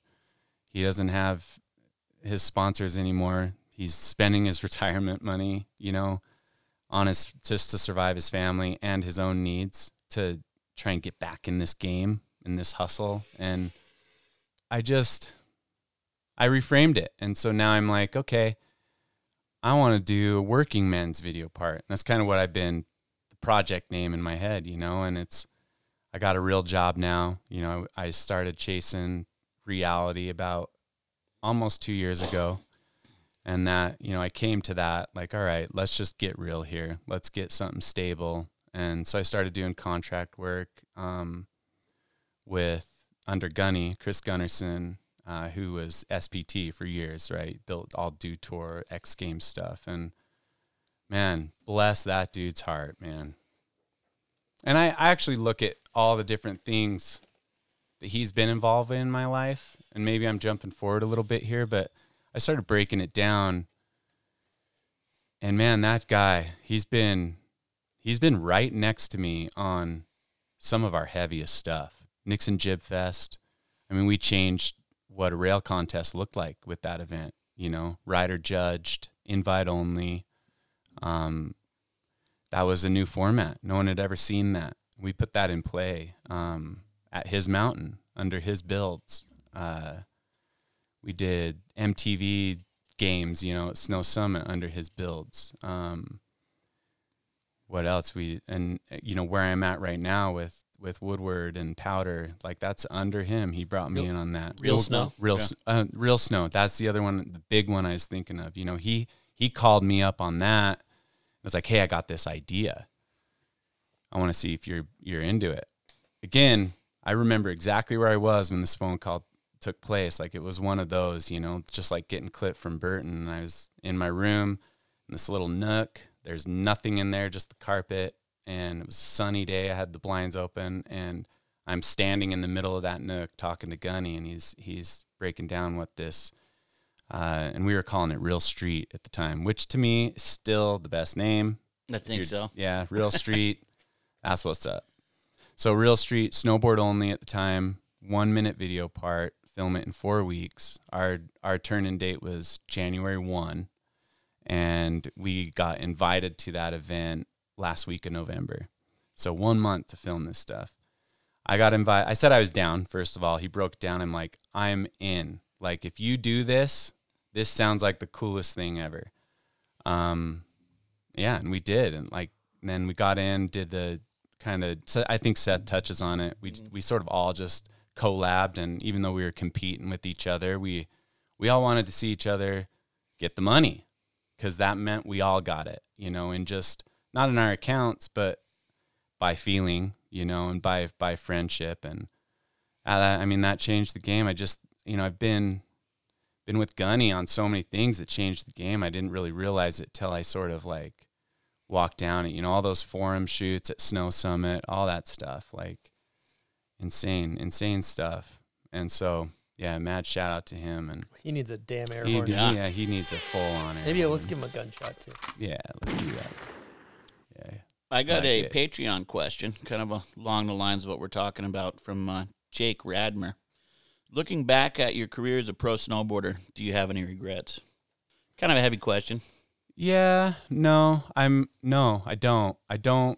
I'm not a regretter. First of all, that's that's the biggest thing. I think the only thing I, I, I joke about this. The, my main regret, if I have one, is that I've hated on Birkenstocks for 35 years because I just put them on a couple weeks ago, and dude, life changer. And it could be the two broken legs, but still, like that changed my life. And I'm I'm like, dude, if I'd been walking around in these for 35 years, You've been way more comfortable. yeah, like this. It might have kept you on Burton though. Dude, Those yeah, things are might- big. Those might things are have. big Huge in in Vermont. Vermont. Yeah. Yeah, dude. I Bode would've- Merrill, Post Malone, these guys swear by those things. So I know, I do too, man. I've and been a hater. I need to try these things on, see what's up. Oh, I was an active hater, dude. Me too. and so yeah um no snowboarding i don't really i don't really have any regrets i mean there things chisel at me you know but honestly it's mostly trick based it's like Yeah. dude i should have put in more you know i was there i should have put in more Looking at your career over the years, because I've been around for the whole thing, man, it's got to be one of the most impressive things. You and JP, what you have done and the parts you put out are, in my opinion, the biggest that no rider's really done it on your level for as many years. You know what I mean? 21? Is that what yeah, you said? There's Yeah, guys that are around and, you know, they throw wicked tricks and they got awesome style, but they haven't put the parts out. right So to me, it's the most impressive thing. You shouldn't have any regrets. It's Well, it's thank you, amazing man. what you've done. Yeah, thank you. Thanks for that. And you know, that's that's my accolade. Like if, you know, I, you get asked that a lot. What are your accolades? Cuz that's what people want, you know, and I'm just like I filmed 21 video parts for 21 years in a row, and I didn't miss a single year.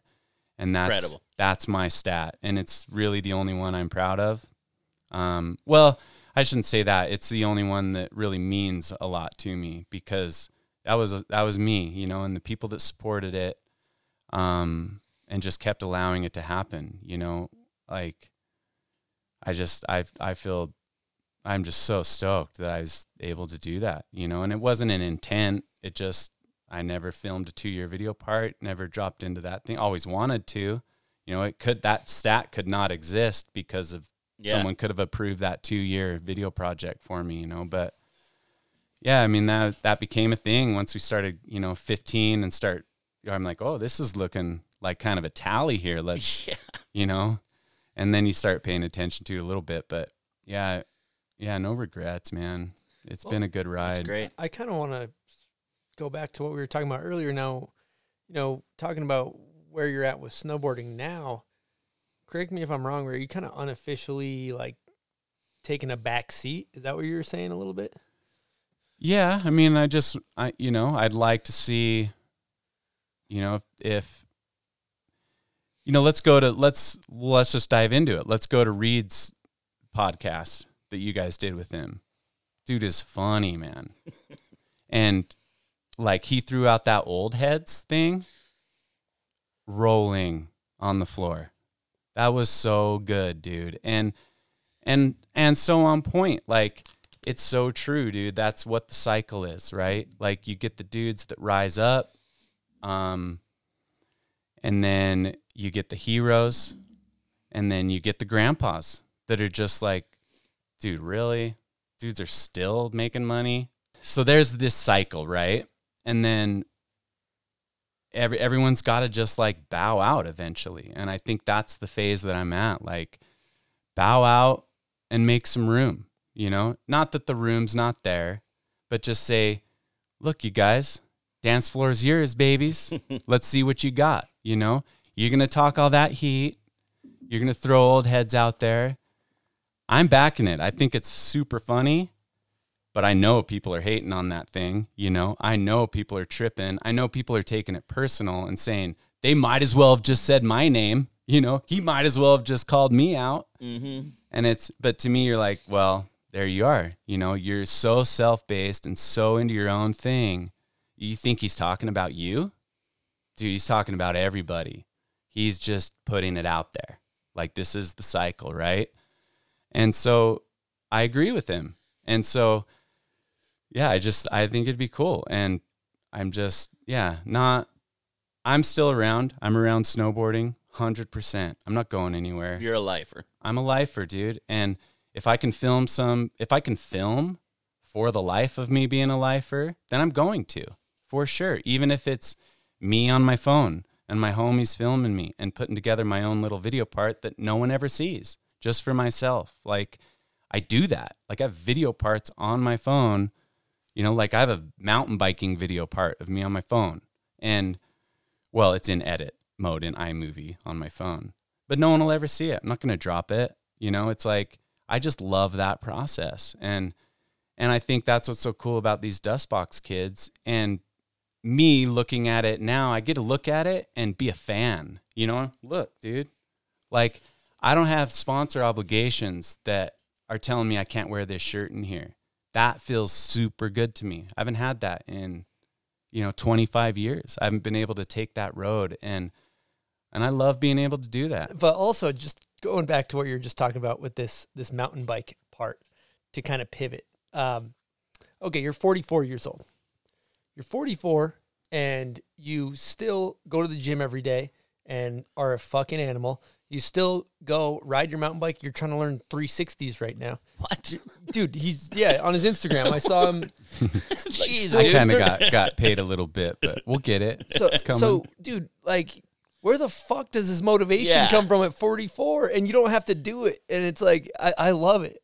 I just don't see any other way, man. I don't know where it comes from. Um, and I don't even see it as motivation. Like mostly I'm looking at every single day and and it's almost a failure because I'm just like, dude, all I did was look at my computer and do emails and have Zoom calls and like where am I getting it? I got to go get it, you know, and then I don't know. I don't know what it is. I can't I just can't go home empty-handed, you know? Like if I'm driving home and there's snow on the ground and I have my snow skate in the car and there's a double-sided red curb, like phone is set up and I'm sliding the double right sided red curb and I'm I only have 15 minutes, but I just want to get a piece, dude. And like to me that's living. To me that's just where I want to be. I, I don't have an answer for where that comes from. I think it's, you know, maybe just being so hooked on this process of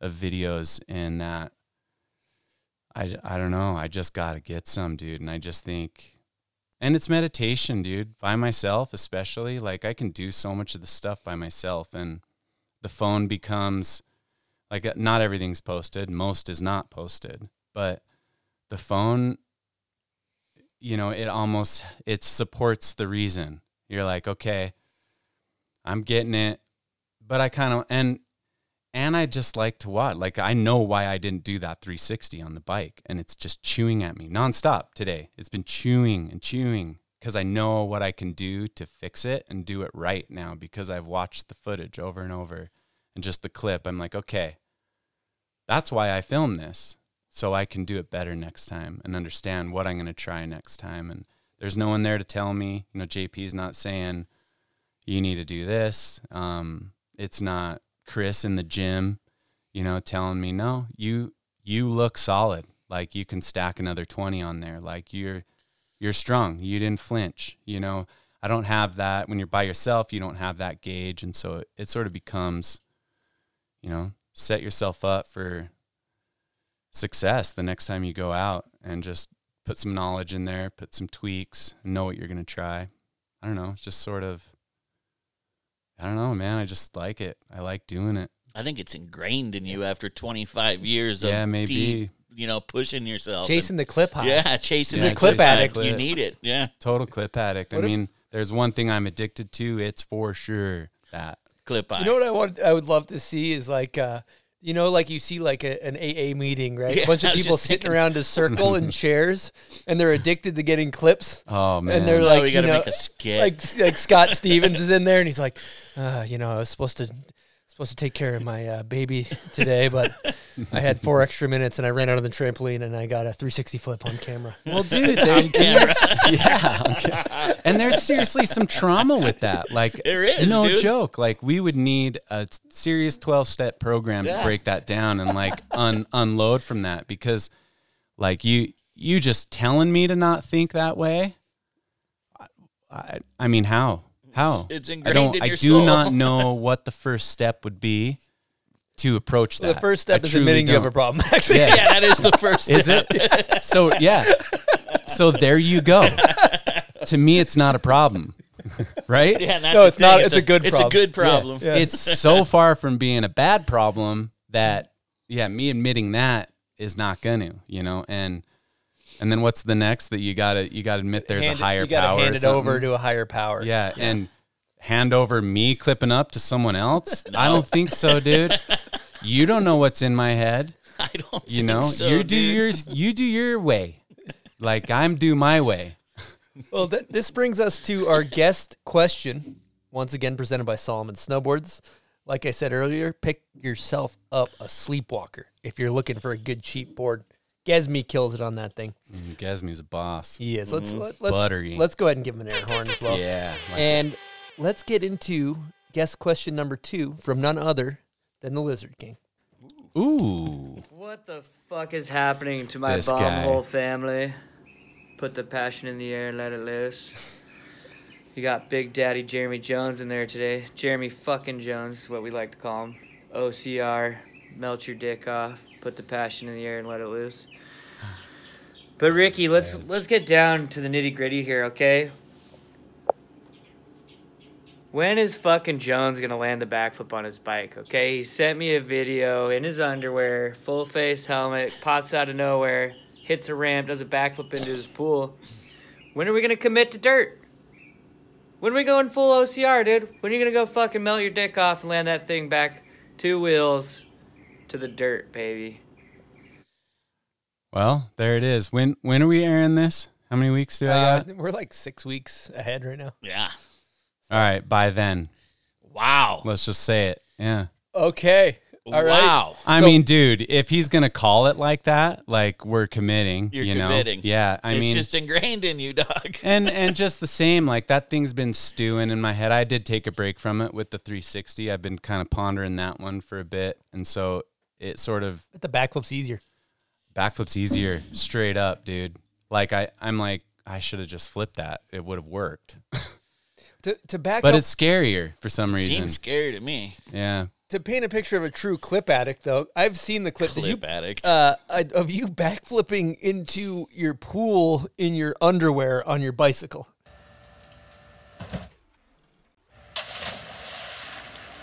And you're 44 years old, and your wife is filming you. like that is like that is just a stereotypical 44 year old clip addict right there in Yeah. his, in his prime. Yeah, I mean straight up. But you know what, dude? Who else is doing it? Like we got to pave some waves here, you know? Mm-hmm. Like let's open up some lanes, show people what's up. Old dudes can get it. You just got to find a new lane. I like how I Lizard just changed the whole tone of the episode with his language.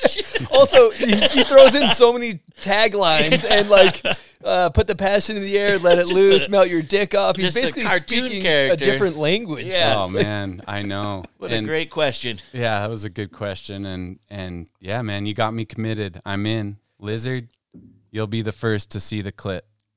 If he lands it, we will have the clip for you playing on the screen right now.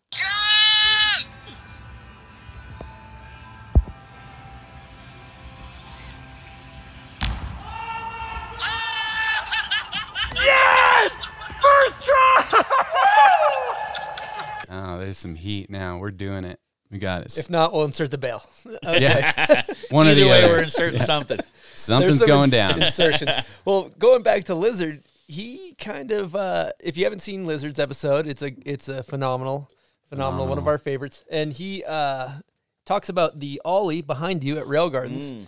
And he kind of throws a couple jabs at you and kind of says you were mean to him. We would like to hear both sides of the story on this. Well, what's mean to a nine year old, first of all? like when you're an adult and you're talking to this nine year old that has a dope kickflip, and like, what's mean? You know, let's establish a, a level ground here.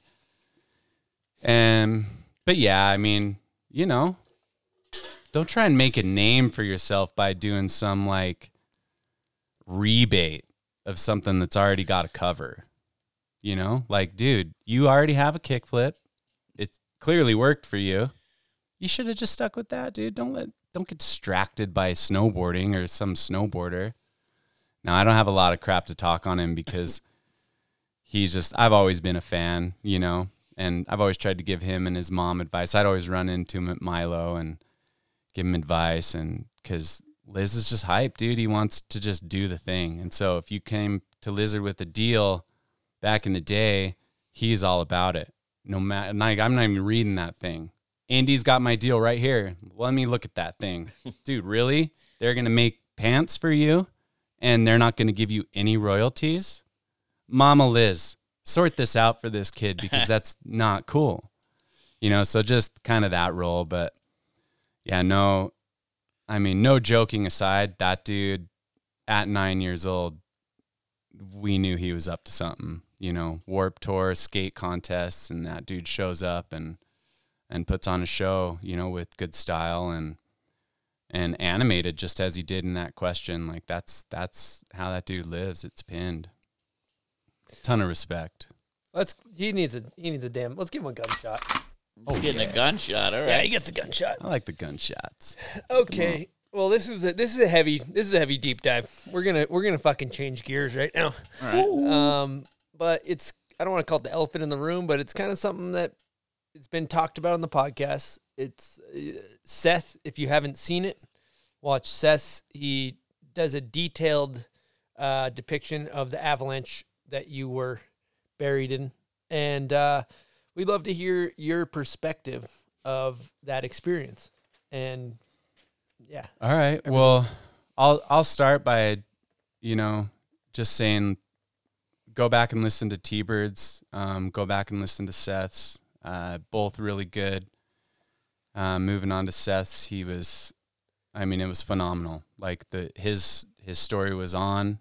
Um, there was a main thread, very common thread through this whole storyline, uh, but there was ten different people that have a different perspective of it for sure. And you know, mine was much different than Seth's. Seth's was one of management and control, um, a clear head, you know, to be able to make decisions. Um, and he just sort of had that overview. You know, he was able to look at it all and see all the pieces and helpfully support them into the spots that they needed to be, whether it was people, whether it was terrain or whatever, right? And so my narrative is one of gratitude because I was in the hole. You know, I was wrapped around a tree. Um, and Brock and Seth were the two people, and then everyone else underneath them that got me out alive and everyone else out alive, essentially, you know, because it was problem after problem, as you will learn if you listen to Seth's, you know, and I can go into a kind of quick overview of it from my perspective, but I just think that his his story was so on that it's it's where you should go first for this listen. Um, my story, real similar. You know, it was a rough morning getting out there. We took a lot of time, and I, I I'll kind of like move a little quicker through the details. Um, but you know, tons of snow. Um, and it was wet and it was snow that we didn't exactly get a feel because we weren't even on we didn't take our first run until one. And that was you know in the parking lot at seven. It was still dark. Um, and so that's a long time not being on your board not being on the snow and not having the snow under you. And growing up at brighton to give some back context to that that's where i grew up riding.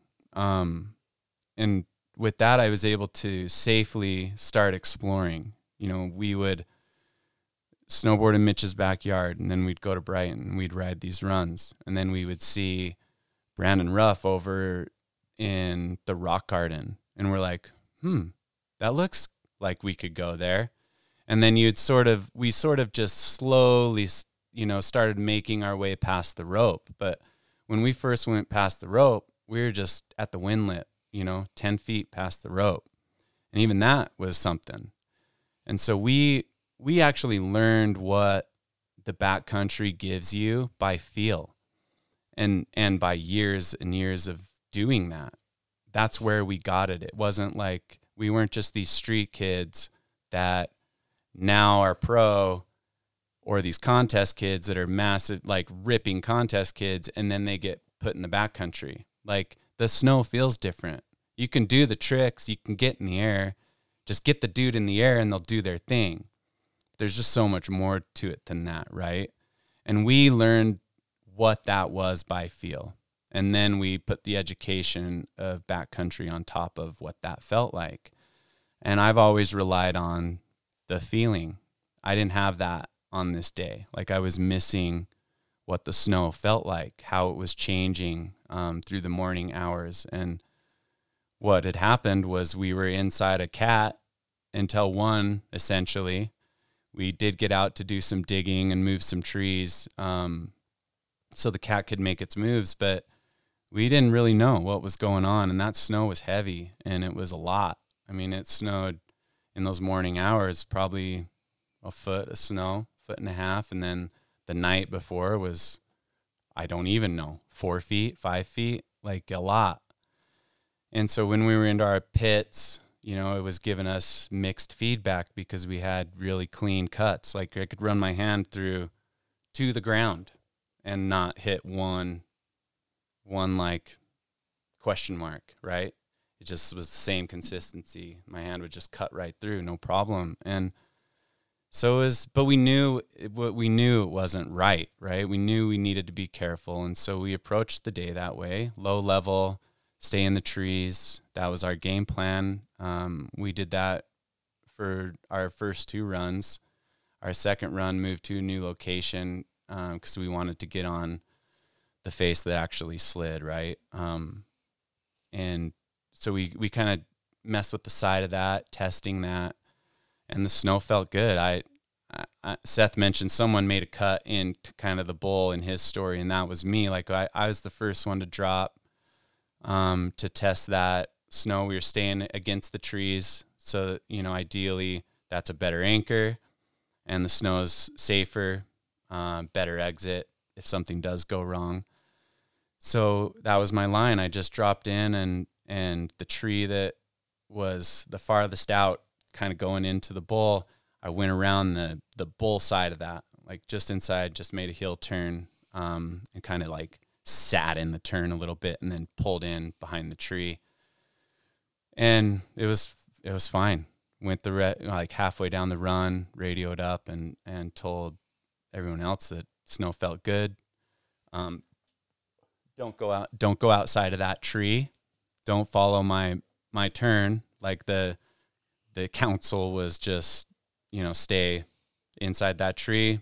Come come down to me, and then we'll we'll do another leapfrog the next half of the run. So that all happens. It all went well. Uh, we're about four o'clock in the day, and now we know that there's a path. So we we know we can get up to the top of this run in 20 minutes. It was just before four, and so we knew we didn't have a lot of light, but we knew we could get up top. We knew the run was feeling safe to us, um, and so we went out for another one. Uh, just because of those reasons. Um, yeah, and then we're had looked at this rock that was on the skiers left. Why do we say skiers? What do we still say skiers left when we're snowboarders? I like to say riders, riders left. or left. lookers Let's left. change that now. Yeah, let's change it yeah, right now. lookers left, Yeah, riders lookers- left. Let's go. Let's go with riders. Lookers would be my Cool. photo vantage point, and Yeah. riders would be yours. But So riders left. You know, I we had this rock that Alex was looking at the run before. Um, as a group, we pulled pulled him off, and whoever else was showing signs of wanting to hit it. Right? We're just like, no, no, let's stay over here on the right side of this thing and make sure this thing is money before we start sending that. Obviously, felt money, so Alex sent that. Um, he was the first to go. He kind of did a little tomahawk and then he cut across the bull. And we had put Mary next to that tree. Um, and the theory there is just to protect her, right? Like we knew that she hadn't been in there that much, um, or out in the backcountry. Her experience was slim. Uh, and we would do that anyway. Um, most filmers and photographers that had been in the backcountry would do that on their own. We just made the suggestion, you know, stay close to a tree, uh, we put her at that tree um, right behind it. And Alex kind of cut over that, and then he kind of shacks up with her, waiting for me to go. And that, and so I do it. I do the same thing, uh, a little forward roll, right back to my feet, and then I'm cutting across. I don't know if it was below or above Alex's line, but it was just off of his line a few feet, right? And then just dead center of that thing. I just heard just this. I don't I don't know how to Man, the sound was the gnarliest part. It was so crazy. Like just that thunder thunder sound over your house, you know, when it actually shakes the house. But it's quick and it's crisp and it's it's not the rumbling after. It's just that crack, right? I'd never heard anything like that. Um, and I just, that snow, that, dude, it was so dope, that snow. It was like as good as it looks. And then just as quick as that sound happened, I've just never seen snow that gnarly, like it, that, that fast. Um, but I just stayed my line. My line to if it didn't crack was kind of swoop over to the tree and then kind of head back, fall line, and keep the run going. My line, if it cracked, was to get to the tree. So I just kept that in in play, and I just kept my line going there. And but that snow was so violent, so quick. I could see the ledge, dude. Like the the crack wasn't that high behind me. I wasn't. I was maybe only 40, 50 feet down from the crown. So there wasn't a lot of heat packing behind me at, at that moment. And as I'm approaching the tree, I can see the edge moving, you know? And so I'm like, I got this. And I just tried to ollie into that crack, like into the like dead snow, right? Wow. That was underneath the slide because I could see it. And just as I sort of loaded that, one of those waves piled up and it just clipped my feet, right? So it put me, um, I was described as hot tub position. So I'm just on my butt. And then you do what you do, what you're taught to do. And it's just freak out to stay on top. So swimming, um, head up, back straight, just anything, just like start treading water, you know, and then I come under that tree and I, I still, I'm like, I got this. I, cause I'm under these long branches. It was running out maybe 10 feet and I grabbed a hold of the branch and I just skinned that thing and I just was squeezing it as, and that's one of the moments I remember most is I can feel each one of those little pine needles branches that kind of come off of the main branch just popping through my mittens, dude. As you're going past it. Slow motion. And that that was happening in a hundredth of a second, that whole thing, you know? I mean, I don't know how fast it was. Your mind slows down. But dude, that was so slow. And, you know, to the point of almost hearing it, just like and the the needles falling on you, you know, like it was that vivid. And then I pop off the end just and then that was it. I was still in it there was still heat behind me. Um, I just start swimming. Took me over a cliff. As it took me over that cliff, uh, the slide that was behind me came over the top of me. And then when me and the slide hit the ground, we sent another fracture. So there was a second fracture that happened there. Just as quick as I hit the ground, I must have hit that tree. I think the tree was I mean, I can I can't really guess, but probably 100 feet or so behind that cliff. So real quick and then then I was just peeling back off of the tree. Um, that's what I remember, just like the tree falling away from me. And I was like, what is going on? And then when I and then I'm sitting down on this rubble, like it's already rubble. Legs are buried up to my thighs and this tree is sitting in my crotch, literally like I'm just touching this tree that's probably 10 board. inches around. My board's just wrapped around it. Um, and my legs are buried, so I can't, I don't really know what's going on. But, just, you know, as, as quick as I was like trying to figure out what was going on, Brock, Alex, and Mary were all right there. They got right to me at that point. And, and then I knew I was all right. Like I saw Bryant, Brock, and I just knew I was good.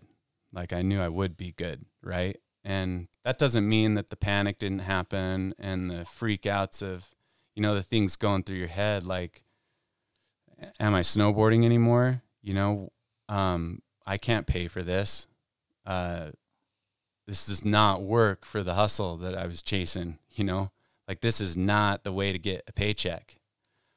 And all that stuff, all that real stuff was just hitting me, you know, because I was in that phase. I was trying to make it happen. And that was my freak out more than anything. My panic was just like, dude, I don't know if I got this in me to deal with this, you know? And, uh, and not the rest of the day, like what comes after. Um, and that, that was my panic that's where my head was at and and then I started to identify the pain and and that sucked and just started working with Brock and then you know if you listen to Seth's story there's he has this navigation of you know finding getting all the beacons off um, that was a huge moment for me because I could see in my like cloudy state of really kind of a tunnel vision. You know, I wasn't focused. It's not like a focused tunnel vision, but I had this this tunnel vision happening and then it was this fog all around it. And in that fog, I was people were moving towards me. And I was like, why are all these people moving towards me? I heard someone say, We're missing Mike. And so I'm like, but why are they moving towards me? And then, you know, whether Seth said that or it was my realization or what, I we realized that my beacon was still on. And so I'm like, this is it. Getting my beacon and I'd got my right leg sort of free. Um got the beacon shut off and then everyone stops. They stop moving to towards me and we have no signal, right? So Seth describes that too. We have it's just silent. And I was like, this is weird. This is quiet. Like we should be hearing some beeps. Um, just my head's doing that. I'm thinking that. But as I'm digging the rest of my foot out, and then I got my right binding undone, and I went to put weight on my right foot because I it was just about getting my left leg out so that I could go help. That's all I was thinking. And I went to go on my put on my right leg, and and it just wasn't there. There's nothing there, right? Just Gumby. Um, and so Brock just kind of pulls me back and he's like, sorry, dude, you're, you know, you ain't helping basically. And so he just stayed by me. Uh, and that quick, Seth found Mike. Like, um, it was that quick. You know, it was inside a few minutes of the thing popping that Seth got Mike out, which is insane. You know, um, five minutes, if he pulls him out in five minutes, that's great because you still have a bit of time um, after five minutes that you can save someone even under the snow, you know, depending on if they get asphyxiated or if they pass out. Mike passed out, thankfully. That's a good thing. Uh, and that's something that I was taught at one of Pat Moore's Avi classes that, I, you know, after this is like, dude, if you, if you have the balls and you're buried, just hold your breath and pass out because then you won't asphyxiate yourself as quick and you buy yourself a couple minutes and you're you're looking at possibly 10 minutes being under there and they can still bring you back. And so that that was cool. You know that's a good bit of info um, but that takes some training. You got to mentally like think that one through for a minute be like what all right it's up to you guys. I'm under here. Here i go. You know and just knock yourself out for the sake of saving yourself but you got to rely on your buddies, you know, and the crew that's there, and and there and there's that, you know, Seth and Brock, man, those guys. Like, I'm not joking when I said everything was going to be all right when I saw Brock's face, because those are the two people that I've worked with for you know 25 years, where we've just poked at this stuff and and learned it and took classes and shoveled and dug pits and done speed shoveling tests and worked up at the spot over and over and you know do camp nights in the snow and and test it different ways you know like let's let's sleep with bag only. Let's sleep with bag and pine needles under us. Let's dig to the dirt. Let's bury coals bury it over the dirt and then let's sleep straight on the dirt no sleeping bag. Like we've tested all of these things because we knew one day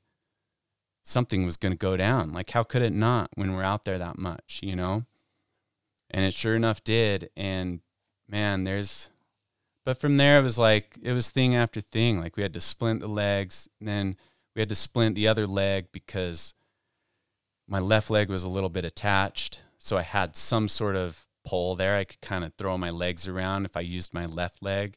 So after the splints went on, and we got the powder board under me I told um, Brock to duct tape my legs together because I can throw. I'm like, if they're duct taped together, then I can actually use them. I can be a monopod, but I can use it, you know, to some level and help them out a little bit more. And, you know, he, they backed me out of that, dude. They backed me out of that rubble for like a quarter mile. And that dude, that's some shit. Like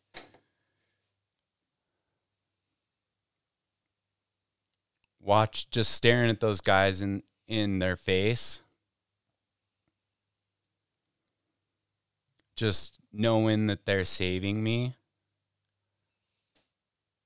Man, you got nothing there, you know? Like you can't do anything. Um except say thank you. Thanks. I know this sucks for you. Thank you.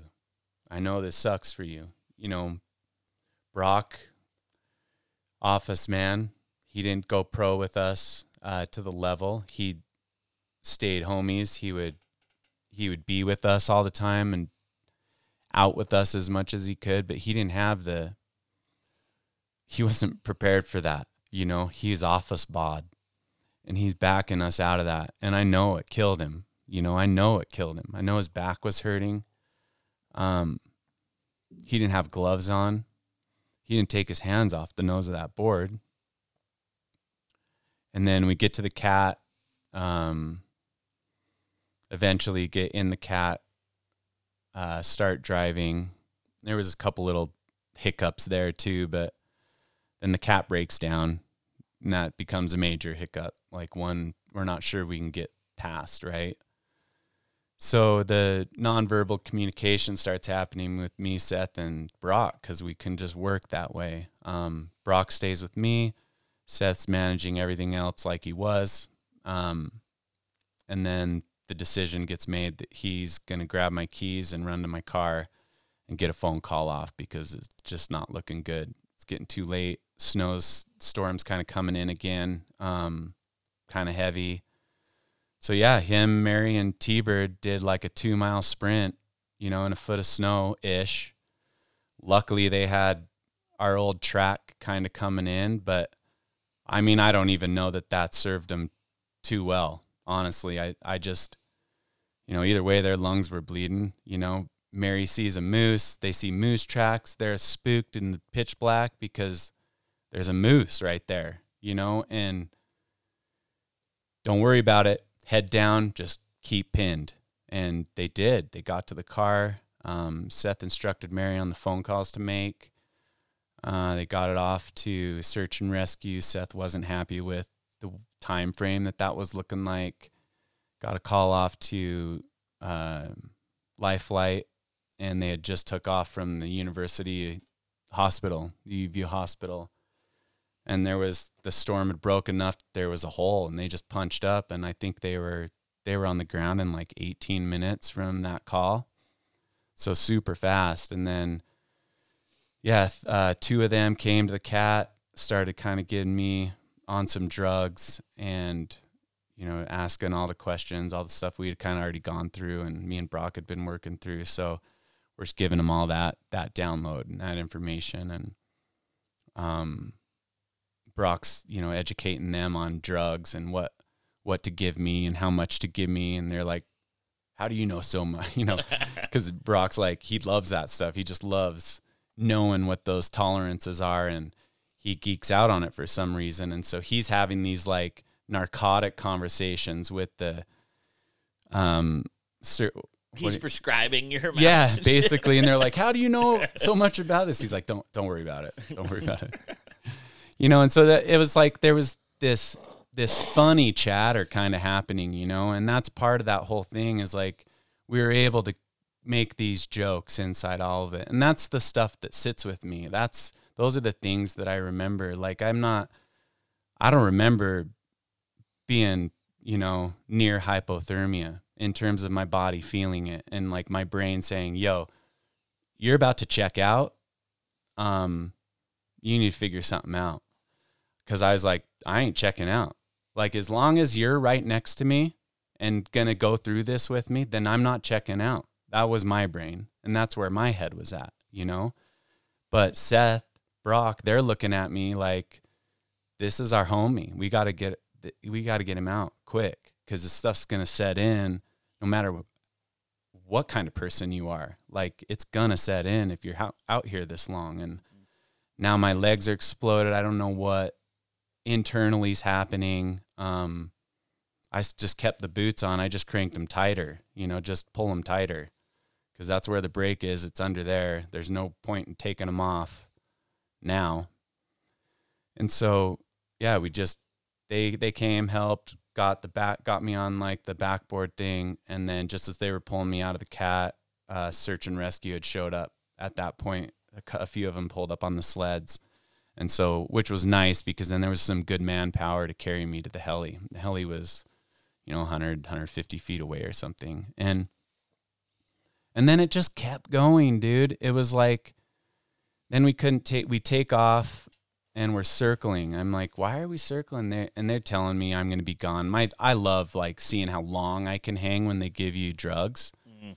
Like you know, if you're going out for a surgery, okay, count to twelve, and I'm like, can I count higher? Because I'll count higher, and I'll and then when I wake up, I'll tell you what I counted to. Really? Oh yeah, and I'm to 17 now Wow. and that was the most recent one and and like so and that was this the second surgery i did when i got some screws out but go in you know and, and the lady's like you you're good now in the heli you're good uh you won't remember any of this and i'm all ask me when it's over and i'll tell you everything from the heli ride. And i don't remember everything but i remember circling around. I'm like why aren't we going? And then we start following a car down these canyons. It was so awesome to hear Seth say that, to actually him him getting a visual of it, because no one's really backed my my vision of up my vision up on that until he said that. And so I was that was rad for me because I it's clear to me. I'm like, I know we were circling. And then all of a sudden we were following we were super low, following a car. And then we followed another car down Provo. They couldn't get me to IHC is where they were going to take me. So once we get to Provo Hospital, that you know, I was done. Then I'd kind of checked out. I don't remember going from the heli uh, into the hospital. I remember landing, but I don't remember anything else. And then I wake up, and that was kind of when my final checkbox ish sort of checked, and I was like, okay, now, now we're good now we're safe. And I mean, I knew we would get there, like I said, because of Brock, because of Seth. Um, but yeah, when I woke up and my wife and GP were at the foot of my bed, and then I was like, all right, we're good. Like I can pump the brakes a little bit. And, you know, probably broke down at that point um, and just tried to stew everything down and make sense of it. And and then the PA just comes on over and he's just like, "So what do you do?" And like I'm pro snowboarder, and well, you're won't be doing that anymore. And I was like, "Dude, Right then and there. really? Like I'm, I don't know where I'm at yet." And I was like, "Why not?" And then he, I have like a portable X-ray machine to my right, and he starts pointing out my X-rays like this. It's all exploded. It's just not. It's just not working. You're not going to do it anymore. And I was like, "Well, I think you're wrong because first of all, you just explained to me what my left leg is while you're look pointing to the right leg x-ray. So I think you're wrong. And he's all, this isn't your right leg. And I'm all, that is definitely my right leg, dude. What's the R for on the x-ray or on the panel thing? And he's like, he's like, oh, yeah, this is, this is your right leg. Well, you know, and, and I was like, dude, how am I the one that has it? How, how am I the one that's more put together at this point? Like coming out of all these drugs and, and just spun out, right? And then then they just pull my boots off. I was like, dude, cut those things off. Do not pull those things off. That's going to kill. Because they shot the x rays with the boots on. They pulled those off. that hurt. That was when the pain hurt. Fuck. And then I get up to the room, supposed to get surgery at like midnight or something. And then I wake up to my dad walking in the room at four in the morning. And I was just like, I mean, wake up. I was in whatever drugged up stupor you're in. You're not really sleeping and in a lot of pain. And, And my dad just drove down from Park City because he couldn't sleep. He knew it was up, but he just and I I talked to him, but my dad didn't normally do stuff like this. Um, yeah, and he just showed up in the room and just sat there, didn't do anything. Sat there from four in the morning until like eight, which I was supposed to be my my surgery time. So eight rolls around and still no surgery. Twelve ro- rolls around, still no surgery. then I called, you know, one of my doctors, ortho friends, and they ended up doing the surgery and said, "What? What am I looking at? Like, where should I be with this?" And he's like, "Dude, you you should have those things done within 24. You need that done now. Like this delay is unacceptable." And he wasn't trying to like edge in. And I was like, "All right." So I I hit him. I'm like, "I got to go to a different hospital because this guy is now now's not doing my surgery until 5." And I'm like, "His reputation, I already don't trust because you've already missed 3 marks of giving me a time and not showing up. So I need to go to a different hospital." And there and then they told me I needed to clear it through a social worker. So by 3 in the afternoon, we should be able to get the social worker in here to interview you so you can leave. And I was like, what, dude? This is insane. And so I just called the surgeon again. I'm like, figure this out. And I told my wife, and she she just went to work. And then in like 10 minutes, the same lady walked back in. She's like, okay, we, we're putting you in an ambulance at one. and We'll get you over. And then I was in surgery by eight that night. What hospital? Um, whatever that Salt Jordan. something. No, it was uh, what one is that? Is that Jordan? Is it West the like that West Jordan one? That I always new one? forget what it I don't kind know. Either way, you had the wherewithal to be like, this isn't going down here. This yeah, it's not going three like check marks on this guy. yeah, and the, and like he's the best, and I'm like, well, do does he show up? Yeah. You know, because that's part up. of being the best, in my opinion, and I want someone that will show up at least. Wow. So yes, and then that was it. You know, got there, got got all checked in. Um, my surgeon came in immediately.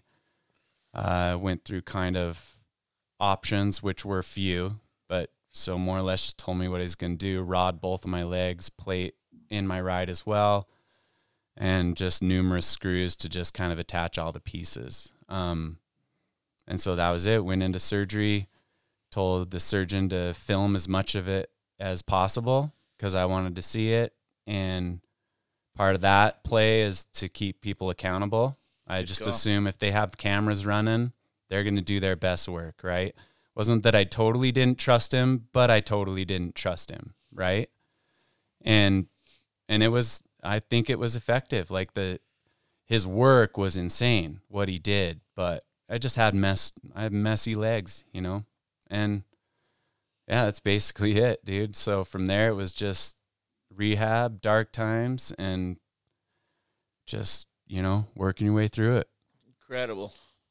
So for the people listening that don't know, basically both your legs were fucking exploded. Yeah. Right. Correct? Yeah, tib, tib, fib, um, both legs. Uh, left leg, the fib just had a fracture. So that one, that was what was keeping the left leg intact. Um, and the left leg was the milder break. I think it was quite a few pieces in the tib.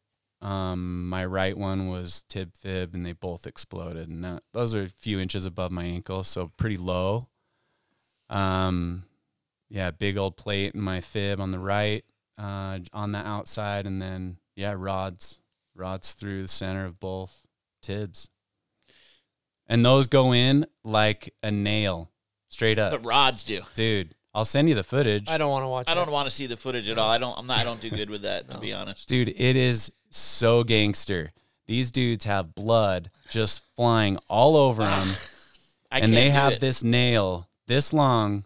For those listening, my fingers are Two about feet? two feet apart, and they call you know they ream it. So they take this drill bit, just as long, and they guide it through. So they core your bone, and then they stick this rod in titanium nail It's like and- running rebar pins in concrete. Kind of. Straight up, dude. And no joke, they take this like Thor hammer that doesn't look any different than a, A Home hammer? Depot hammer. Oh, really? Mini Or a sledge. Thor, Is it a yeah. Mini sledgehammer.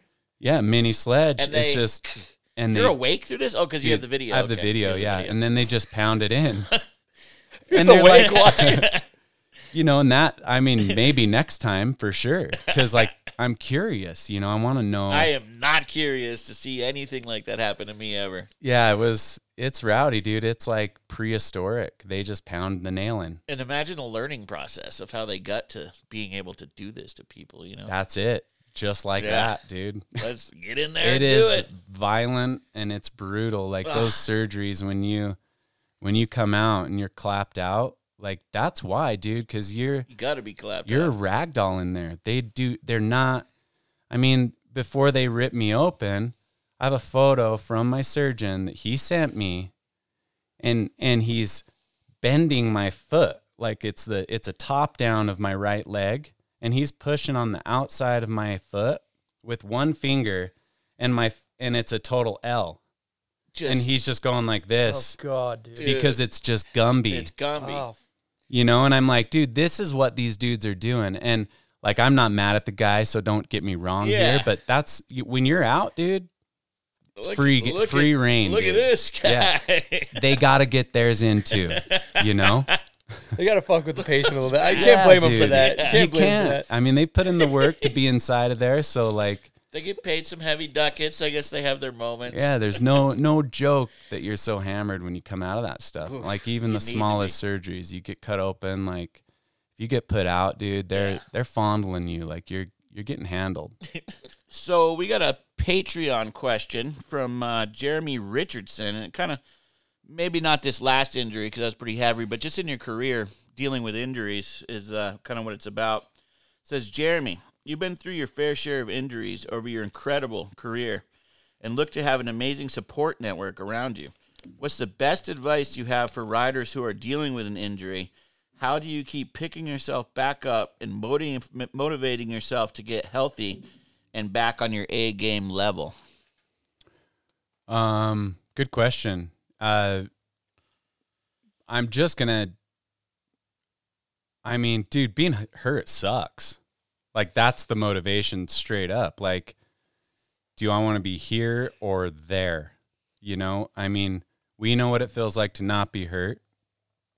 You, I hope you know what it feels like to not be hurt. If you don't, I'm super sorry, and you're fighting a battle that I can't relate with. So good luck and, you know, keep grinding.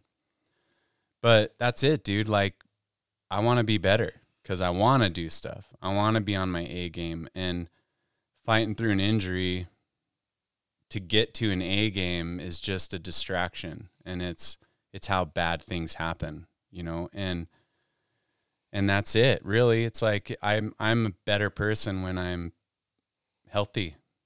And so I just need to find my way there and and also define like what health is, you know, cuz it changes. Um and you you can find health inside certain ailments that stick around. I believe that. And you can find that kind of peace and and that A game, I would say. But yeah, I it's just I mean, the motivation's just to get back to clipping up, dude. Like, I'm telling you that there's, you know, any addict will say it, dude. Like, you just got to get back to the drug, you know, and that's it. Like, it's not any different. It's truly not. Like, if clipping up's the thing, then the injury's in the way. So let's get back to it. And that's it. Looking back on the road to recovery with your injury, it seemed like initially when you were rehabbing, you know, your you had your legs were destroyed. You started to be able to walk again. And from what I remember, it seemed like were you hopeful that you were going to get back to 100% initially? Oh, for sure. Not even hopeful. There just wasn't even a doubt. Yeah, I mean, it was, yeah, not a doubt in my mind. I didn't, I'd never had that kind of damage um, in that location. Um, so I was ignorant to some things, you know, what that process is, what happens down there. Like the circulation's super bad. Um, those tib fibs are notoriously not healers. um, that's why that guy said you won't snowboard. It, it wasn't because he was trying to be a butthole. It was just because he, I mean, that's what he thought. You know, he's like that. That dude's maybe walking, maybe. You know, that's the way he saw it because that's what he was taught when he was shown those images um, in school, and he was too young, I think, to have a lot of experience with that. And so that was his comment. And then my surgeon is like, Yeah, I'll have you back. You know, and he was playing off of my confidence. So that was almost to my detriment a little bit. Like he could have been, and again, no fault to his, but he could have been a little more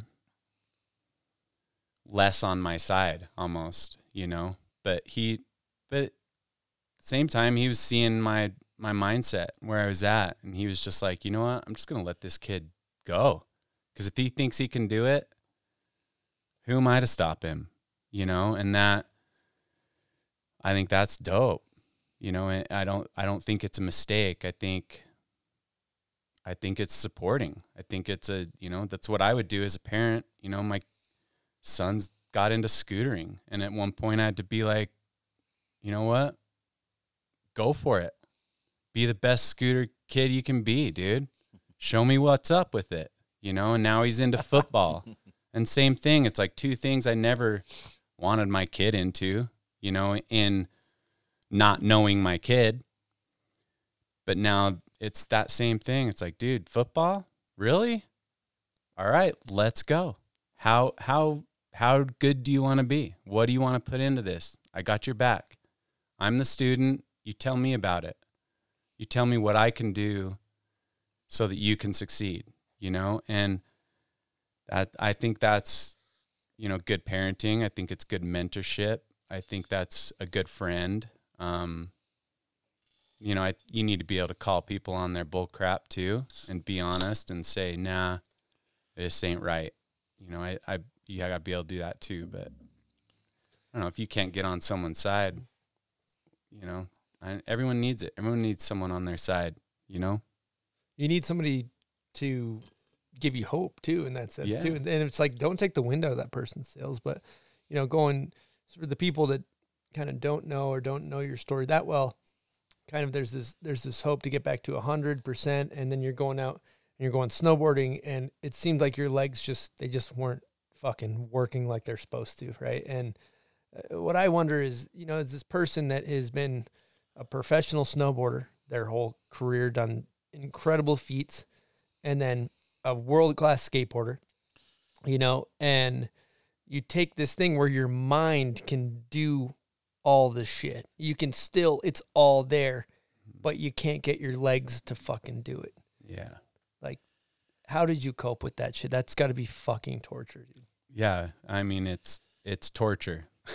Still, um, I I think I'm coping pretty well, but yeah, those were, yeah, that that thinking were my dark days for sure.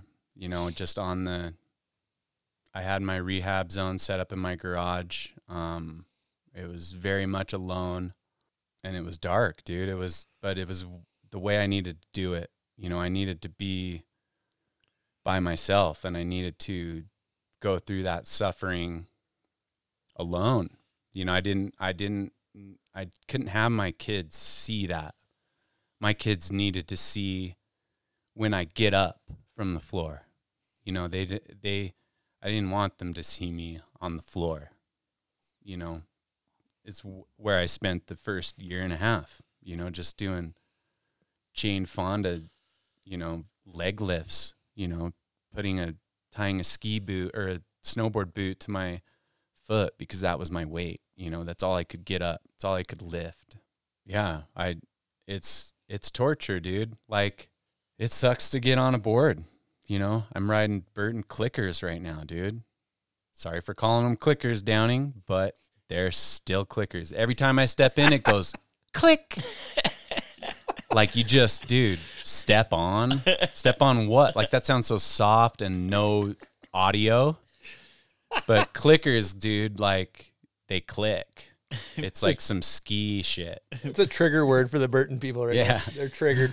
No, but I got on those last year and you know, it took a load off off of the strap. Um it's not where I'll end up. I'm so looking forward to putting on normal boots and bindings this year. Um I'm actually really really excited for that first day. And it might be a total blowout. Like I might learn in one run or in the garage that the clickers are going back on. Yeah. Right. But it got me on the mountain and I was able to ride last year, you know, to some level. And then that put me in a place where I could now dial everything back. Like, okay, where am I at? Like, for real, where am I at? Let's assume I'm 100%. I still have two rods in my leg. I still have a plate that's on my right leg in the middle of my boot, from the top of my boot to the ankle. And there's a lot of flex that happens in the bones right there, especially for the stuff that I like to ride. Like, I can ride powder, but powder is the second best thing in snowboarding. The first is steel. And I can't ride steel. Yeah. Seriously. Let's give it another Let's air get some- Let's give it a whole like orchestra symphony, dude. A symphony. Let's for give the, the steel a symphony. Now you know how Uh, we real gotta- steel feel. We got a steel advocate sitting in the booth. I love it. Yeah, man. I'm like, you know, that's where I want to be. And so how do I get there? And that's, you know, that's where the clickers came in. Um, and I'm just working slow, dude. It's just dialing everything back. All right. Those videos were someone else in a sense. And now I have to look at it like that and just say, okay, that's, I can get motivated by that because I'm stoked on that person's video part. Oh, but that's you. Is it though? you know, I, it's not. There's no way I'm going to be able to do some of that stuff, but I can get back on the steel. I can slide some stuff. I can lip some stuff. And I'm hoping I can nose press some stuff really good again. And that's, that to me is my biggest hangup right now is like that, that metal in there doesn't allow those bones to bend. And when you're pressing, dude, you need that bone to bend. You need the flex that it gives you. And the rods and the plates don't allow it. They don't allow that bone to flex. I'll tell you this right now, though, because we've had some sessions at Rail Gardens this past winter. I saw you out there filming lines, getting it. And sure, the tricks aren't as maybe difficult as they were in your prime, but the excitement for the tricks you're doing and the the celebrating the small steps is fucking infectious. And I, I would maybe argue that the shit you're doing right now, like overcoming this injury, is is more inspirational to the people around you than the Jeremy that was you know was top dog you know for a long time. So I, I love watching it personally. I love watching the growth and all that. So Well, thanks. I mean, that's that's motivation to me. You know, that's that's like that just makes me want to go to the rail gardens right now and put something down. Like truly, because you know, I had a couple days that last year just stopping in and and you guys were there and it like I didn't normally ride rail gardens when those sessions were going. Like I wanted to be there alone. You know, that's what I that's the snowboarding I liked to do. Especially with the camera on. I wanted to be like me and the posse and keep it tight, you know. And now I'm like dropping in on these crews, you know, rail gardens and the heat's just going. Like these dudes are on, you know, like the stuff you guys can all do on those rails on the regs is it's messed up. And I get so pumped on that and and it is like I I I get a board slide and it feels good. I am juiced, you know, and it's because I've pulled my level down and just said, you know what, we just got to check these things off. Let's just move through the ranks like we've done before and just know that that's where you're at. That is where I'm at. And it's, I don't know where I'm going. I don't know how far I can take this yet, but I didn't before either.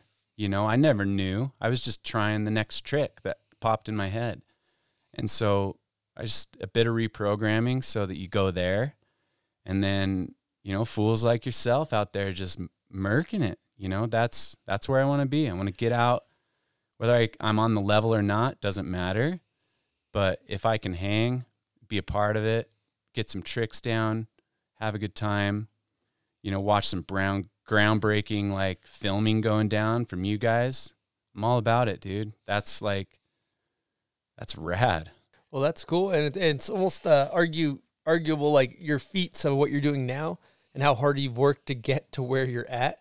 I see you in the gym, dude. Like I see you picking up heavy shit and being super self disciplined, not missing any days. And it, it's so easy, you know, it'd be so easy to go the opposite direction, right? But it's like, dude, you know, you, you're not going in there for a paycheck. You're not, but you're working. It's like it almost seems like you're working harder for the love of the game now, and and it's it's it's inspiring. So it's it's really cool to see. I think people still want to see you out on the sesh doing it. It's it's more important now maybe than before too. So it's sick. Well, I hope I'm there more. I mean, that's I'm gonna I'm gonna sniff the sessions out now, you know, mm-hmm. and that's it is. It's fun. Like, I mean, it's un, it's uncomfortable, dude, to walk up to that double line and there's 30 kids there. I do not like it. For one, people just give me anxiety when I'm around a lot of people. It's been my career work through. I've always had to kind of work on that and and deal with that good and so that I'm nice enough, you know, that not every person thinks I'm a butthole when I when I leave, you know. I want to at least have a couple of them think I'm pretty cool. And so, you know, just getting into that and then knowing that some of them are watching you when you go. I mean, I know not all of them are. They don't care. Some of them just want to, they're just talking in conversation. You know, it's not all eyes on me, but I know that there is an eye on me. And then, you know, Griff pulls out the camera. He's like, let's get a line. And you're like, what? You know? Of course I want to get a line, dude, because I'm a clip junkie. so Give why me that you fix. Yeah, why you throwing that at me, dude? I'm I'm like mid detox and you're just winging it at me. Mid-detox. You know? and then and then it's like, yeah, all right, let's I'm just gonna jump You're gonna on say it. yes. Yeah, dude. I mean, Just like any it- addict would. and it turns you up. It turns you up to a level that that you didn't know you could access, you know, and those that again, that's another part of that whole thing. It's like you get that dynamic right and the things are moving and you level up, dude. You know, and you you you enter a space that you didn't even know you had access to. And it's awesome at this level, kind of like being so sucky. Like I only have up, mm-hmm. you know, and that's because I've disconnected from what I've done. And, but until I did that, you know, there was nowhere even to go up to. But now I'm like zeroed out and it's, I'm, I have a baseline and it's nothing. I mean, it's clickers, dude. Like, you know, that's my baseline.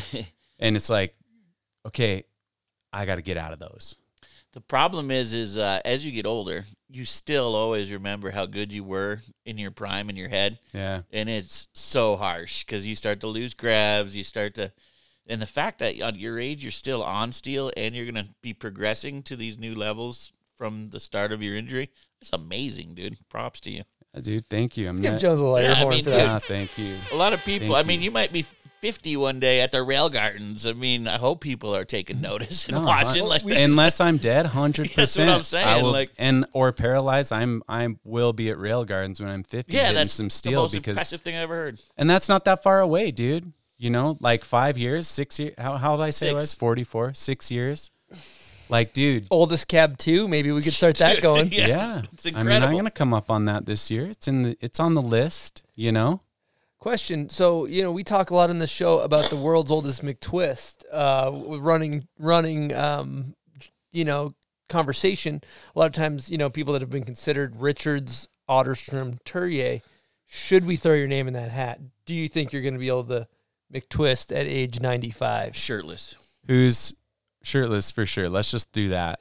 Let's just go there. There's a new new. We'll just call it that. World's but- oldest shirtless McTwist. Where did we land? Who's got the most votes It's, for people the? are all over the place. I'm. I go Richards personally. I'm Some from people Massachusetts. go Chato. and the and the so Someone the qu- said Terry. Terry.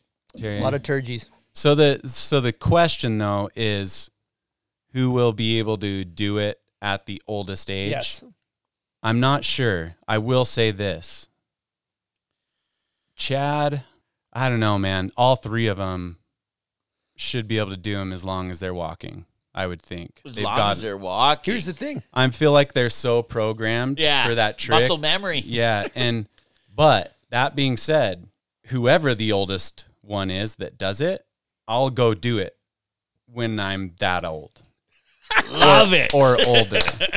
so that's like you Also, know what I mean? Thing to consider: Jeremy doesn't drink. Okay, that Yep. adds you a couple. That's like Re- Bun- Benjamin Button syndrome. Yeah. Yeah, You're the, the you're- kidneys are firing, you're. Firing, dude. I mean, there's a lot. Your skin cells, everything, dude. There's so many years that other people have just ruined their bodies Yeah. with No, but- alcohol or other drugs, anything. Yeah, I, I I mean, yeah, I'll go in there for sure, dude. I mean, I'm one of the old ones. I might as well just like dive in, you know. I'm gonna say if there's a world's oldest switch McTwist, JP, that's a shoe in. Uh, Shoe in That's for a him. Just- Totally.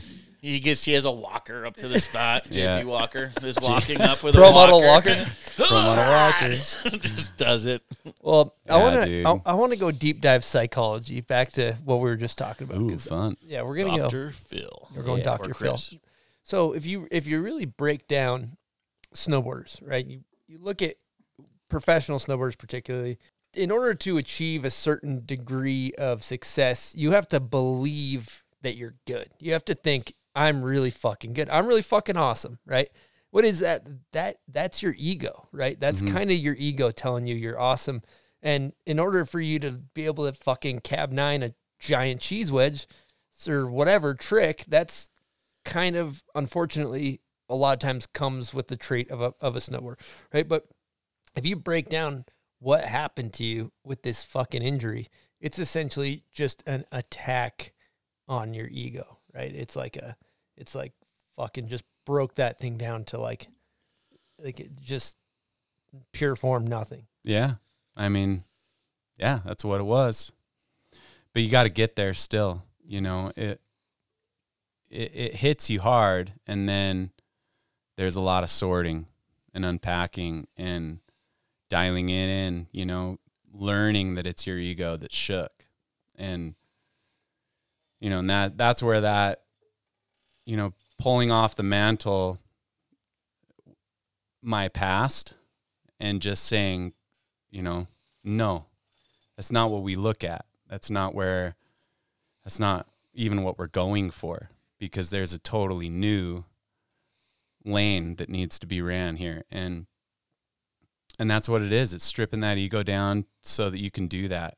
And you, you won't be able to if you're, if you're constantly looking at, you know, what those accolades are up on the mantle, just gathering dust.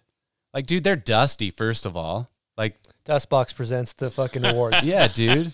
Dusty Rick's up there, just like, let's get out of there, you know, pull it off, dude, and and like create something else, you know, and and that's really what it is. It's like just pull the ego down and and make it happen.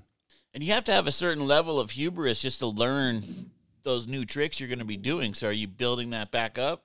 Hubris, I don't know. I don't know What what, hubris is. He's Ego? flexing. Oh, is that? ego. Yeah. I like it. Yeah, we just learned some. That's a fun one. Hubris. Hubris. Hubris. Yeah, um, maybe. Or you just, you know, you just dial in your confidence, dial in what confidence is, because confidence and ego to me are two different things. Um, when approached differently, I mean, com- confidence that you can do something is is the reason. You know, like, why else would you do it? So you're thinking it's less ego, more confidence. Yeah, I mean, in, in at this point for me, for sure, um, ego can drive things. I mean, shakedown was shakedown was a mix of confidence and ego. You know, there was a lot of ego that was hurt there. There was a lot of ego that said, "You can't tell me that." You know, same with the PA that told me I wouldn't snowboard again. You know, the the ego in me there had me hiking up Brighton after they closed on a powder day, 300 yards, crawled on all fours so that I could strap in and ride down to the bottom terminal at Millie, and you I crawled on all fours. I crawled on all fours, and I spent two hours. You know the like if you take a left up hiking up Millie, there's the mm-hmm. little knuckle up there Yep. where it just where the old where the bone zone kind of is, Yeah. right? That little high point. I hiked to the top of that rock, dude. You know how far that is? Yeah. Not far. And I rode from there in at three months, 14 weeks.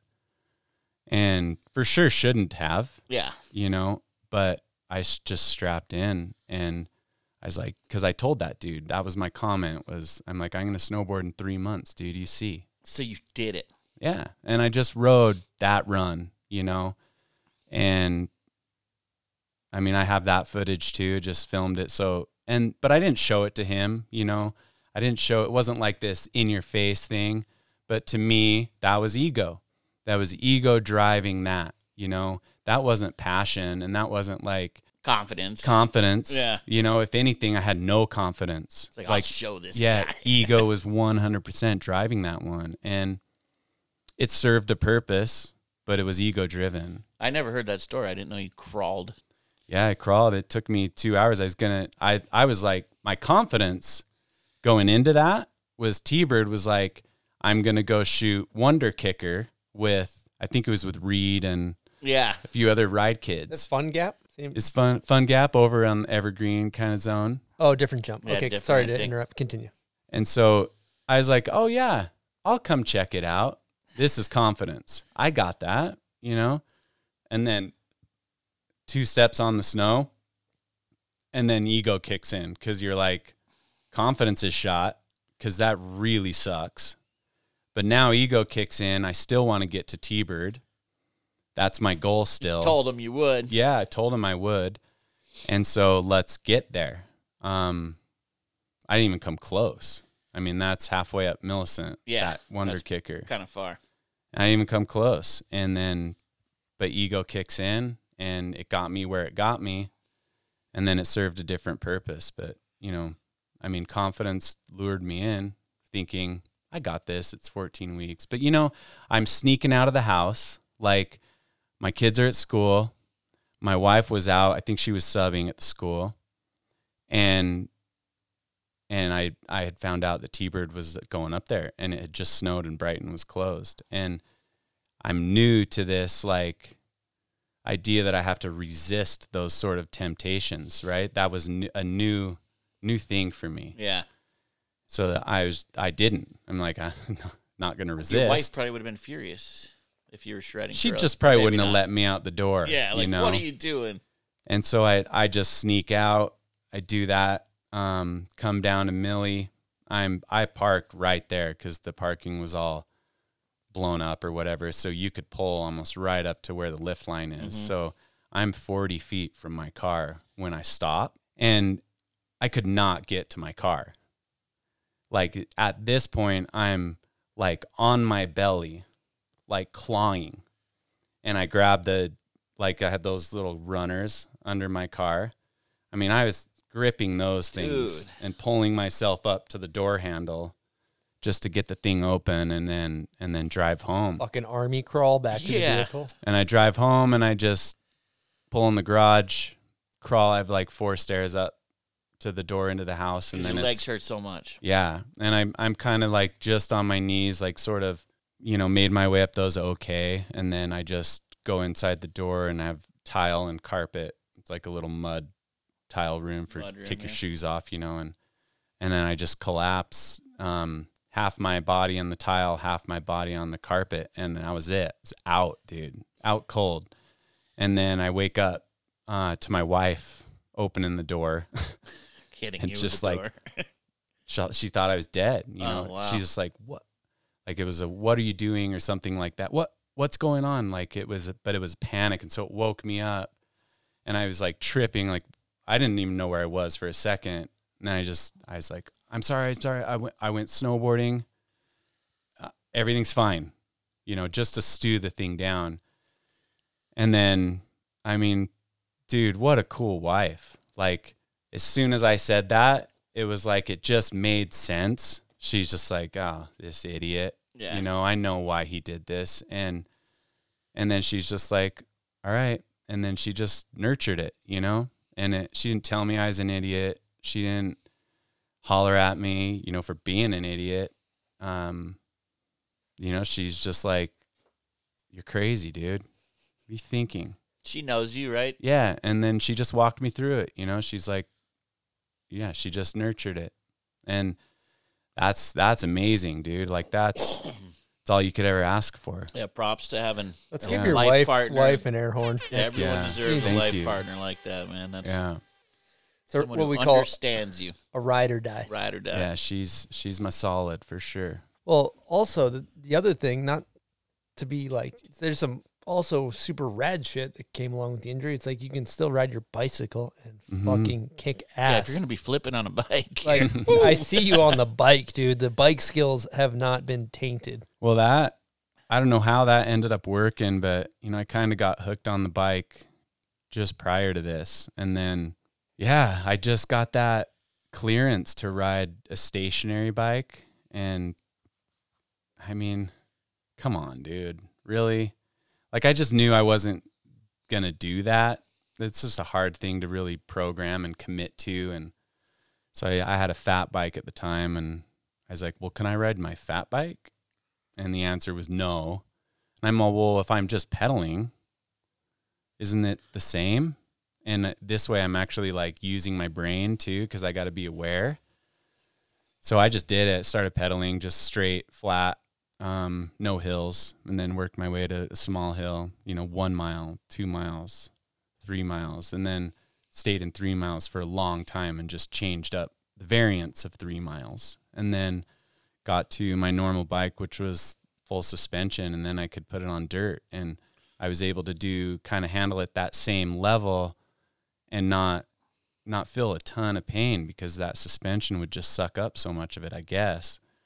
And so I just worked inside those parameters and that was giving me giving me life essentially because I was out doing something. Um, I was doing, you know, mentally connecting what my physical was doing. And so that that to me is just brain work that's priceless because that that's where my brain works. It works when I'm able to do stuff, you know, and and if I make it a project, then I'm even harder into it. And so I break everything out into a project. Nothing's like this super long game of of life. It's like I just have a thousand projects going and you know, whatever 10 of them need to be finished ASAP.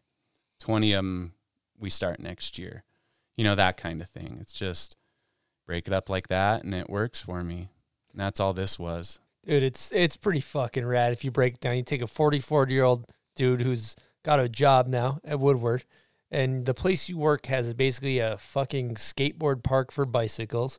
And so you do your shit, you get to go do a whip and tap a tree with your bike, and you're still, for no reason at all and no need, have a desire to learn 360s and backflips on your fucking bicycle. beast mode. And mm-hmm. like, I don't want to put words in your mouth, but would you say that you are kind of in love with the process, like of of the kind of, I guess it's all rehab to a sort or growth, whatever you want to call it. Yeah, 100%.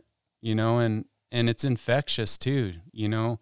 You see if I can put that energy into a 360 on a mountain bike, whether I land it or not, whoever I'm with gets juice, dude. And they they level up, you know, on whatever level they are. Maybe they're flipping, maybe they're 720ing, maybe they're just doing a one-hander or maybe just carving a berm, you know? And I just think if if someone's putting in and you can feel that kind of love, then you'll put in too, and that just it's a good dynamic, and that's I guess all that is. It's just kind of I don't know, just getting it, dude.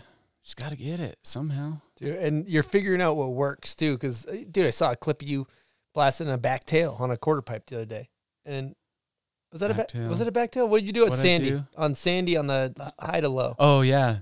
Oh skateboarding. Yeah, skating. Yeah. Skating. Sorry to switch gears. I keep, without, I keep skating so misty right now Yeah, because but- I feel that's where I haven't fully like but the back tail, Connected. the back tail works. yeah man and that It's like you gotta work, go with what works. Yeah, and I'll I will say like that that's one of my favorite tricks. You know, back tails and crooked grinds. Crooked grinds is my harder foot. That's my I got to land on my hurt foot to do a crooks and so I struggle with that one. I haven't totally let that go. I can kind of do them, but they just hurt too bad, so I don't do them often. Um, but that one hangs on, man. I got to figure out how to keep that crooks from being painful because I want that crooks back in my life. Mm-hmm. Because that back tail, I mean, when I I've put a couple down now, and it's like, man, it feels so cool. Skating feels so cool, dude. When it doesn't hurt every second, like, dude, it's it's like it's everything, man. Like skating's skating's the like it's my level. Like it's to 100% my level. I mean, I thank biking for what it's given me and I can I can put in harder there than snowboarding or skating. Skating I can put in the least right now. Um but man, it's the most rewarding. If I can get one smooth push, it it matters. Like it means a lot. And and yeah, so that tail like that transcended some years, you know. It, it put a lot of years back in my pocket and and a lot of hope. Yeah, we'll put that clip on the screen so people can see. 'cause that was a that was a fucking salsa back tail. But um, the thing that I'm kind of getting juiced up about is like you know a lot of times maybe the listeners feel the same way right now, but the way I feel right now is I feel a little bit ungrateful for my ability to have a fully functioning body. And hearing you talk about it, I'm like, dude, what the fuck am I? I'm sitting on the couch, like not going skating today. I need to get my ass up and go fucking skate because you know it's it's cool. It's like you got to do it for the people that can't, kind of thing. As no, as Yeah. cliche as that is, you know, it's good motivation. Yeah, no, I've heard that. Have you guys been saying that a bit on the show? I think is that where I was hearing. Yeah, we've that? said it a few times. Timmy Osler Yeah. episode. Yeah, Timmy Yeah. Osler started mm-hmm. it, and then it kind of resonated. Mm-hmm. Yeah, and I, I I support that. I think 100%. Like, do it for those that can't, you know? Um, and then, but even outside of that, like, I do that too, dude. I sit down and I don't go out. You know, I make the choice. I can go right now or I can't. And I make the choice not to. You know, I do that too. I, I do, I do really try to do something every day. I try to get a piece of something every day. Uh, that I don't know where that came from. I don't know how that got programmed in, but for sure, you know, that's that's top of the list. Every time I wake up, it's like, all right, when's when's my getting it? You know, when's that fit into today? And how does that fit in? Is it four minutes at lunch? It might be just that, but I'm I'm getting it in that four minutes, you know, and that you know, I hear that you've been biking a lot. People tell me that a lot because that's what I post, you know, and I don't really bike that much. You know, I I get it, but it's like maybe one run. I have that luxury of Woodward and being around there, and so, you know, lately if I'm working all day, I can hop in one run at Woodward before I head home. You know, and I'll throw a clip up of that or something, so it looks like I'm biking a lot, but it was just my one run, just me trying to get it. And I, I thought about the trick all day that I was going to try. And so I'm already there. Like, I don't need much warm up. I just got to get things moving because I already know what my plan is. And it's just checking the box, dude. Check it off and, and then start another day. so, so sometimes I'll see somebody and they'll be on their high horse, and you'll be like, that person, they haven't been kicked in the nutsack by life yet, right? Mm-hmm. And as what we've been talking about and all the things we've been talking about, you know, you lost a really close, like your best friend at a young age. You lost Shane Justice, R.I.P. You've, ta- you know, going through that situation when with Burton, it seems brutal, you know, going really high to low, and then ultimately getting in an avalanche and your legs exploding, being like the climax of fucking life kicking you in the nutsack, right? But a lot of times, I think that those difficult things that you go through, be it whatever comes your way in life, it comes in all different forms, are what forges your character, right? How would you say that those experiences shaped who you are today? Heavy question, I know. Yeah. Loaded, but you know, they just highlight different perspectives and different weaknesses. You know, mostly mentally. Like you know, you you know, losing a friend, um, man, that's hard on so many levels. You know, however you're connected to that person, it's that's just rough. It's hard to make sense of that. It's hard to, you know, it seems so empty, like like that they're just gone. You know, is is, is a hole, and and it highlights that hole. It's just like you you can kind of have an understanding of it, but until it hits you, you're like, oh, this is a feeling. This is actually a real feeling, and I actually feel like there's this gap in my system that's not connected, and so it it highlights that, and and then if you're thinking it through and just really working to find your way out, then you start to see what it is highlighted, right? Like you know, for for Shane, one thing that high, that it highlighted for me was just that I need to pay more attention to my friends. You know, tell tell my friends that I love them more. You know, and text my you know, kind of friends more often and just let them know that I thought about them, you know, and if I think about someone random and I have their name in my phone, then send them a text and just say hi. You don't even need to say anything, but just like, yo, thought of you today. Texting you. That's it, you know? And it highlighted that for me. It highlighted, you know, that I wasn't I wasn't doing that. I wasn't as in tune with my friends as I could be. Um, because I was I was with him all the time, and I was but I was missing, I wasn't seeing what he was going through. I was still somehow missing that, you know, and that could have been our age. Um, you know, not wanting to talk about that kind of stuff, being two dudes that just wanted to skate and film. We don't want to bring it down with, you know, the things that we got going on that are not rad. And so I just think you got to look at it, find what that gap is, and fill it. You know, with the avalanche, it's rehab, it's mental, it's family, it's friends, it's business. That was everything. That was like everything coming down on me. Um, and you know, let me rephrase that that statement. Like, nothing was coming down on me. Nothing was. No one was doing anything to me. Like I was in the situation I was in because I got there.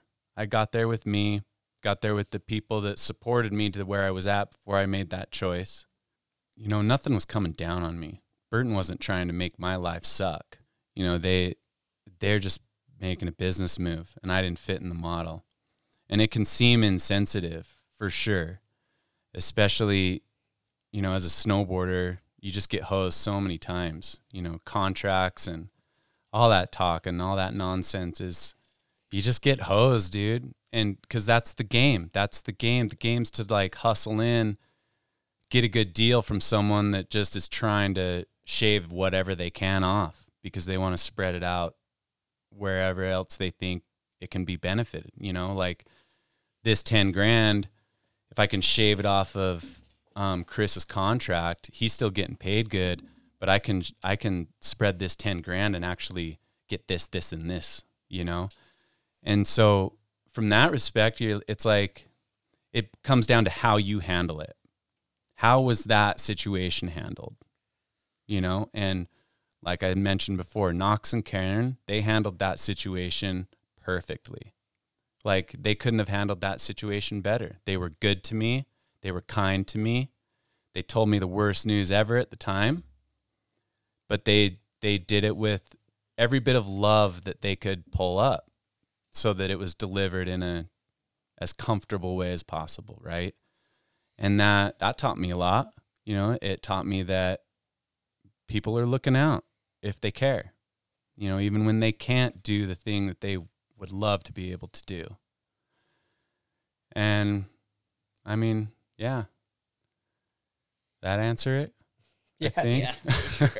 yeah, absolutely, man. No, that's it's no, it's beautiful. I, I love uh, hearing all this stuff. I just feel like a sponge learning. Yeah. I'm I'm absorbing. And then uh, I, I had another random question that's completely fucking unrelated to what we're talking about right now. Perfect. And it's about Jeremy Jones Big Mountain. And you you guys are both you have this you have the same name.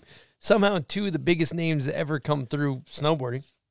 You got any like fucked up mix up stories from that? Oh, there's some good ones, and I won't share too much because the details get a little. Maybe because I don't totally know them, but You guys Look. don't really know each other. no, we don't. We don't. We don't really know each other. We know. We know each other. Yeah. We've had some conversations. There's, you know, too many similarities, really, um, that just really confuse people. Like I'm still so surprised that people don't know, you know, and like people I'm around daily that don't know, Oh damn. and you're like, dude, we've gone on way too long for me to even say anything. Yeah. They're like, remember you, You know, like if you haven't figured this out, like Do they think like This you're is on both you. person? Like you're Big Mountain and Jib? Yeah, you're just the same. the same. You're It's same one person. It's Yeah, you're the superhuman. same person. You know that gets pretty funny sometimes because it's you know video premieres are, dude, and you know, I loved your, loved your shakedown part, dude, and then also that like, further, dude, was so sick. and you're like, dude, all right, All right, sick. so we've at least like we've identified that you know Jeremy Jones, you know both of us, yeah. and you've seen it, but you know things just aren't totally connecting, and we look kind of similar. We both have two kids that are roughly the same age. We've both been professionals for the same amount of time.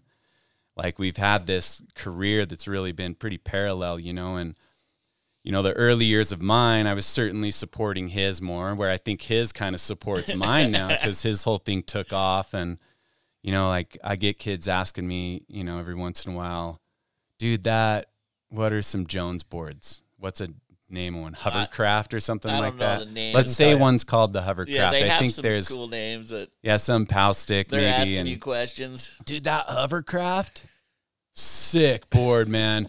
Good design on that. And you're like, yeah, thanks. That's all you can do. And then other other other times you're like, you know, what's the hovercraft? and they and they like kind of st- uh, what do you mean? I don't know what you're talking about, dude. What's the It's it's your snowboard. Oh, the Nitro team? No, it's just a Nitro team. Depends Wait, what, what? mood you're in. dude yeah and that confusion is just that's really where it's hard to like pull it apart and so like i got almost got in a fight with a guy in denver like and this is early, like what set eight years ago probably now like this dude was so not in because he was one of these video parts he had a couple of mine and a couple of his and he told me all the things he liked in both of them and I'm like, well, I got some news for you that might really like bum you out. And he's like, what's that? And I'm like, we're two different people. And he's like, what? I'm like, yeah, we're two. Di-. And he's like, oh, you're joking. And I'm like, no, dude, we're all two different people. Like this Jeremy Jones rides for Rossignol, O'Neill. Um, I ride for Burton time. You know, I'm, you know, I like, you can go look at the video parts and sort of like see that we're on different product. Dude was not having it. Thought you were lying to him. Totally thought I was lying. I left early because he was like steaming up. And I'm like, yo, He thinks you're fucking with yeah, him. Yeah, I'm like, yo, I'm just joking. I'm out. And I just had to piece because I'm like, this dude's getting steamy. yeah. It's not going to go You're like, I just need to avoid the rest of this Yeah. conversation. and then the emails, cro- emails, oh, emails, crossing. geez. Oh, and- here we go. Let's dude. go. Give me something. So these these are good ones. I'll give you two things. One, I won't go into details because it's with his business, and so I don't want to get get into the weeds there. But he had just started Jones. It was under Nidecker. I don't know if it still is or not. I think but it I think yeah. it is. At the time, it was under that, and somehow these emails crossed, and I start getting these emails from like the Nidecker side of things, Oh, and it wow. was like some heat. And I won't say what any of that was, but I was like, this is uncomfortable. Delete, delete. You didn't reply. No, no, get out of there. Like, I don't want any part of this escape. stuff. Like, I don't need to know about the business, dude. Like, and then yes, snowboards was thrown in there too because they were part of it. And there was like some, and I'm like, yo, get me out of here. This is weird. Get me out of Abort. here. So yeah, abort that. And then the other email cross was super funny. And this one I replied to. It was I started getting there was some heat with Terje and and Jeremy Jones and TGR. And I don't know all the backstory, so I won't go into the details, but I get this email from Terje. And he's like, Hey Jeremy, I'm just calling about this Antarctica trip. Uh because they were going on some Antarctica trip where they're going to be T-Bird was on that trip. Yeah, was he on that trip? So T-Bird knows. He, He'll probably know the details. He can correct me. But, you know, it was a situation where they're dropping in for like X amount of days and they had to set up these polar bear fences around their campsite. so T's tripping. He's like, yo, what do I need? And they're taking guns, right? He's he's a European, not into guns. So he's like hitting me up about which gun to get. and so I just lay an email response to him like I'm the other Jeremy Jones about all the art the arsenal he needs to bring. Like, yo, you need these 50 cals. You need this gun. You couldn't help yourself with Oh, T. dude, it was so good. and then uh, you know, he just he figured it out at that point. But you know, that was that was a pretty fun little intervention you know, but That's yeah, hilarious. those they 'cause cross hairs. told sure. us the whole story about the the the bears and the guns, so that Yeah. actually lines right up. yeah, they were they were spooked, man. It was that was that was hot. Well, Jones, man, you got any? You got anything else you want to talk talk about? I think we fucking did it, man. Yeah, I mean, you know, I just want to say thanks. I want to say thanks to you guys for bringing me on. Um, thanks to all the listeners. You know, thank you guys. Um, just showing that love, requesting me uh, means a lot. Like it, it feels good. Um, you know, to me, that's an accolade. I feel like that's something I can I actually can put on my shelf where I, I feel like I've done some good. You know, um, so thanks for all that support and you know, all my sponsors, dude, over the years, like all the filmers, photographers, writers, like it's it's a small community and and we're all here. Um, let's just do our best to like rise each other up, you know, because that's that's how we're gonna survive as snowboarders. It's how we're gonna survive as a as a community is just leveling each other up. Like let's not get you know, let's not get hooked up on the bull crap. Let's not get hooked up on, you know, the pain of being an old head. Like you're an old head, you're an old head, dude. Just understand it and like play the role, be the part, usher in the new, dude, and let it ride because the youth is totally the future. It's not me. I'm not the future anymore. I'm my future. I got to deal with my future and I got to do what I'm going to do. But my kids, they're the future, you know? These dust box kids, they're the future in the street, you know, though that's what this is. Like, let's let it rise up and let's let it be. So, I don't know, maybe that was a little too preachy, but No way. let's go. Thank you for all your years, man. You are one badass dude. And listen to you talk, man. I think this might be my favorite episode.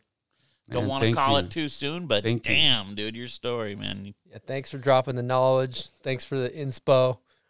Thank you guys for listening, Heavy. and we will see you guys next week. Over and out from the bomb hole. Thank you.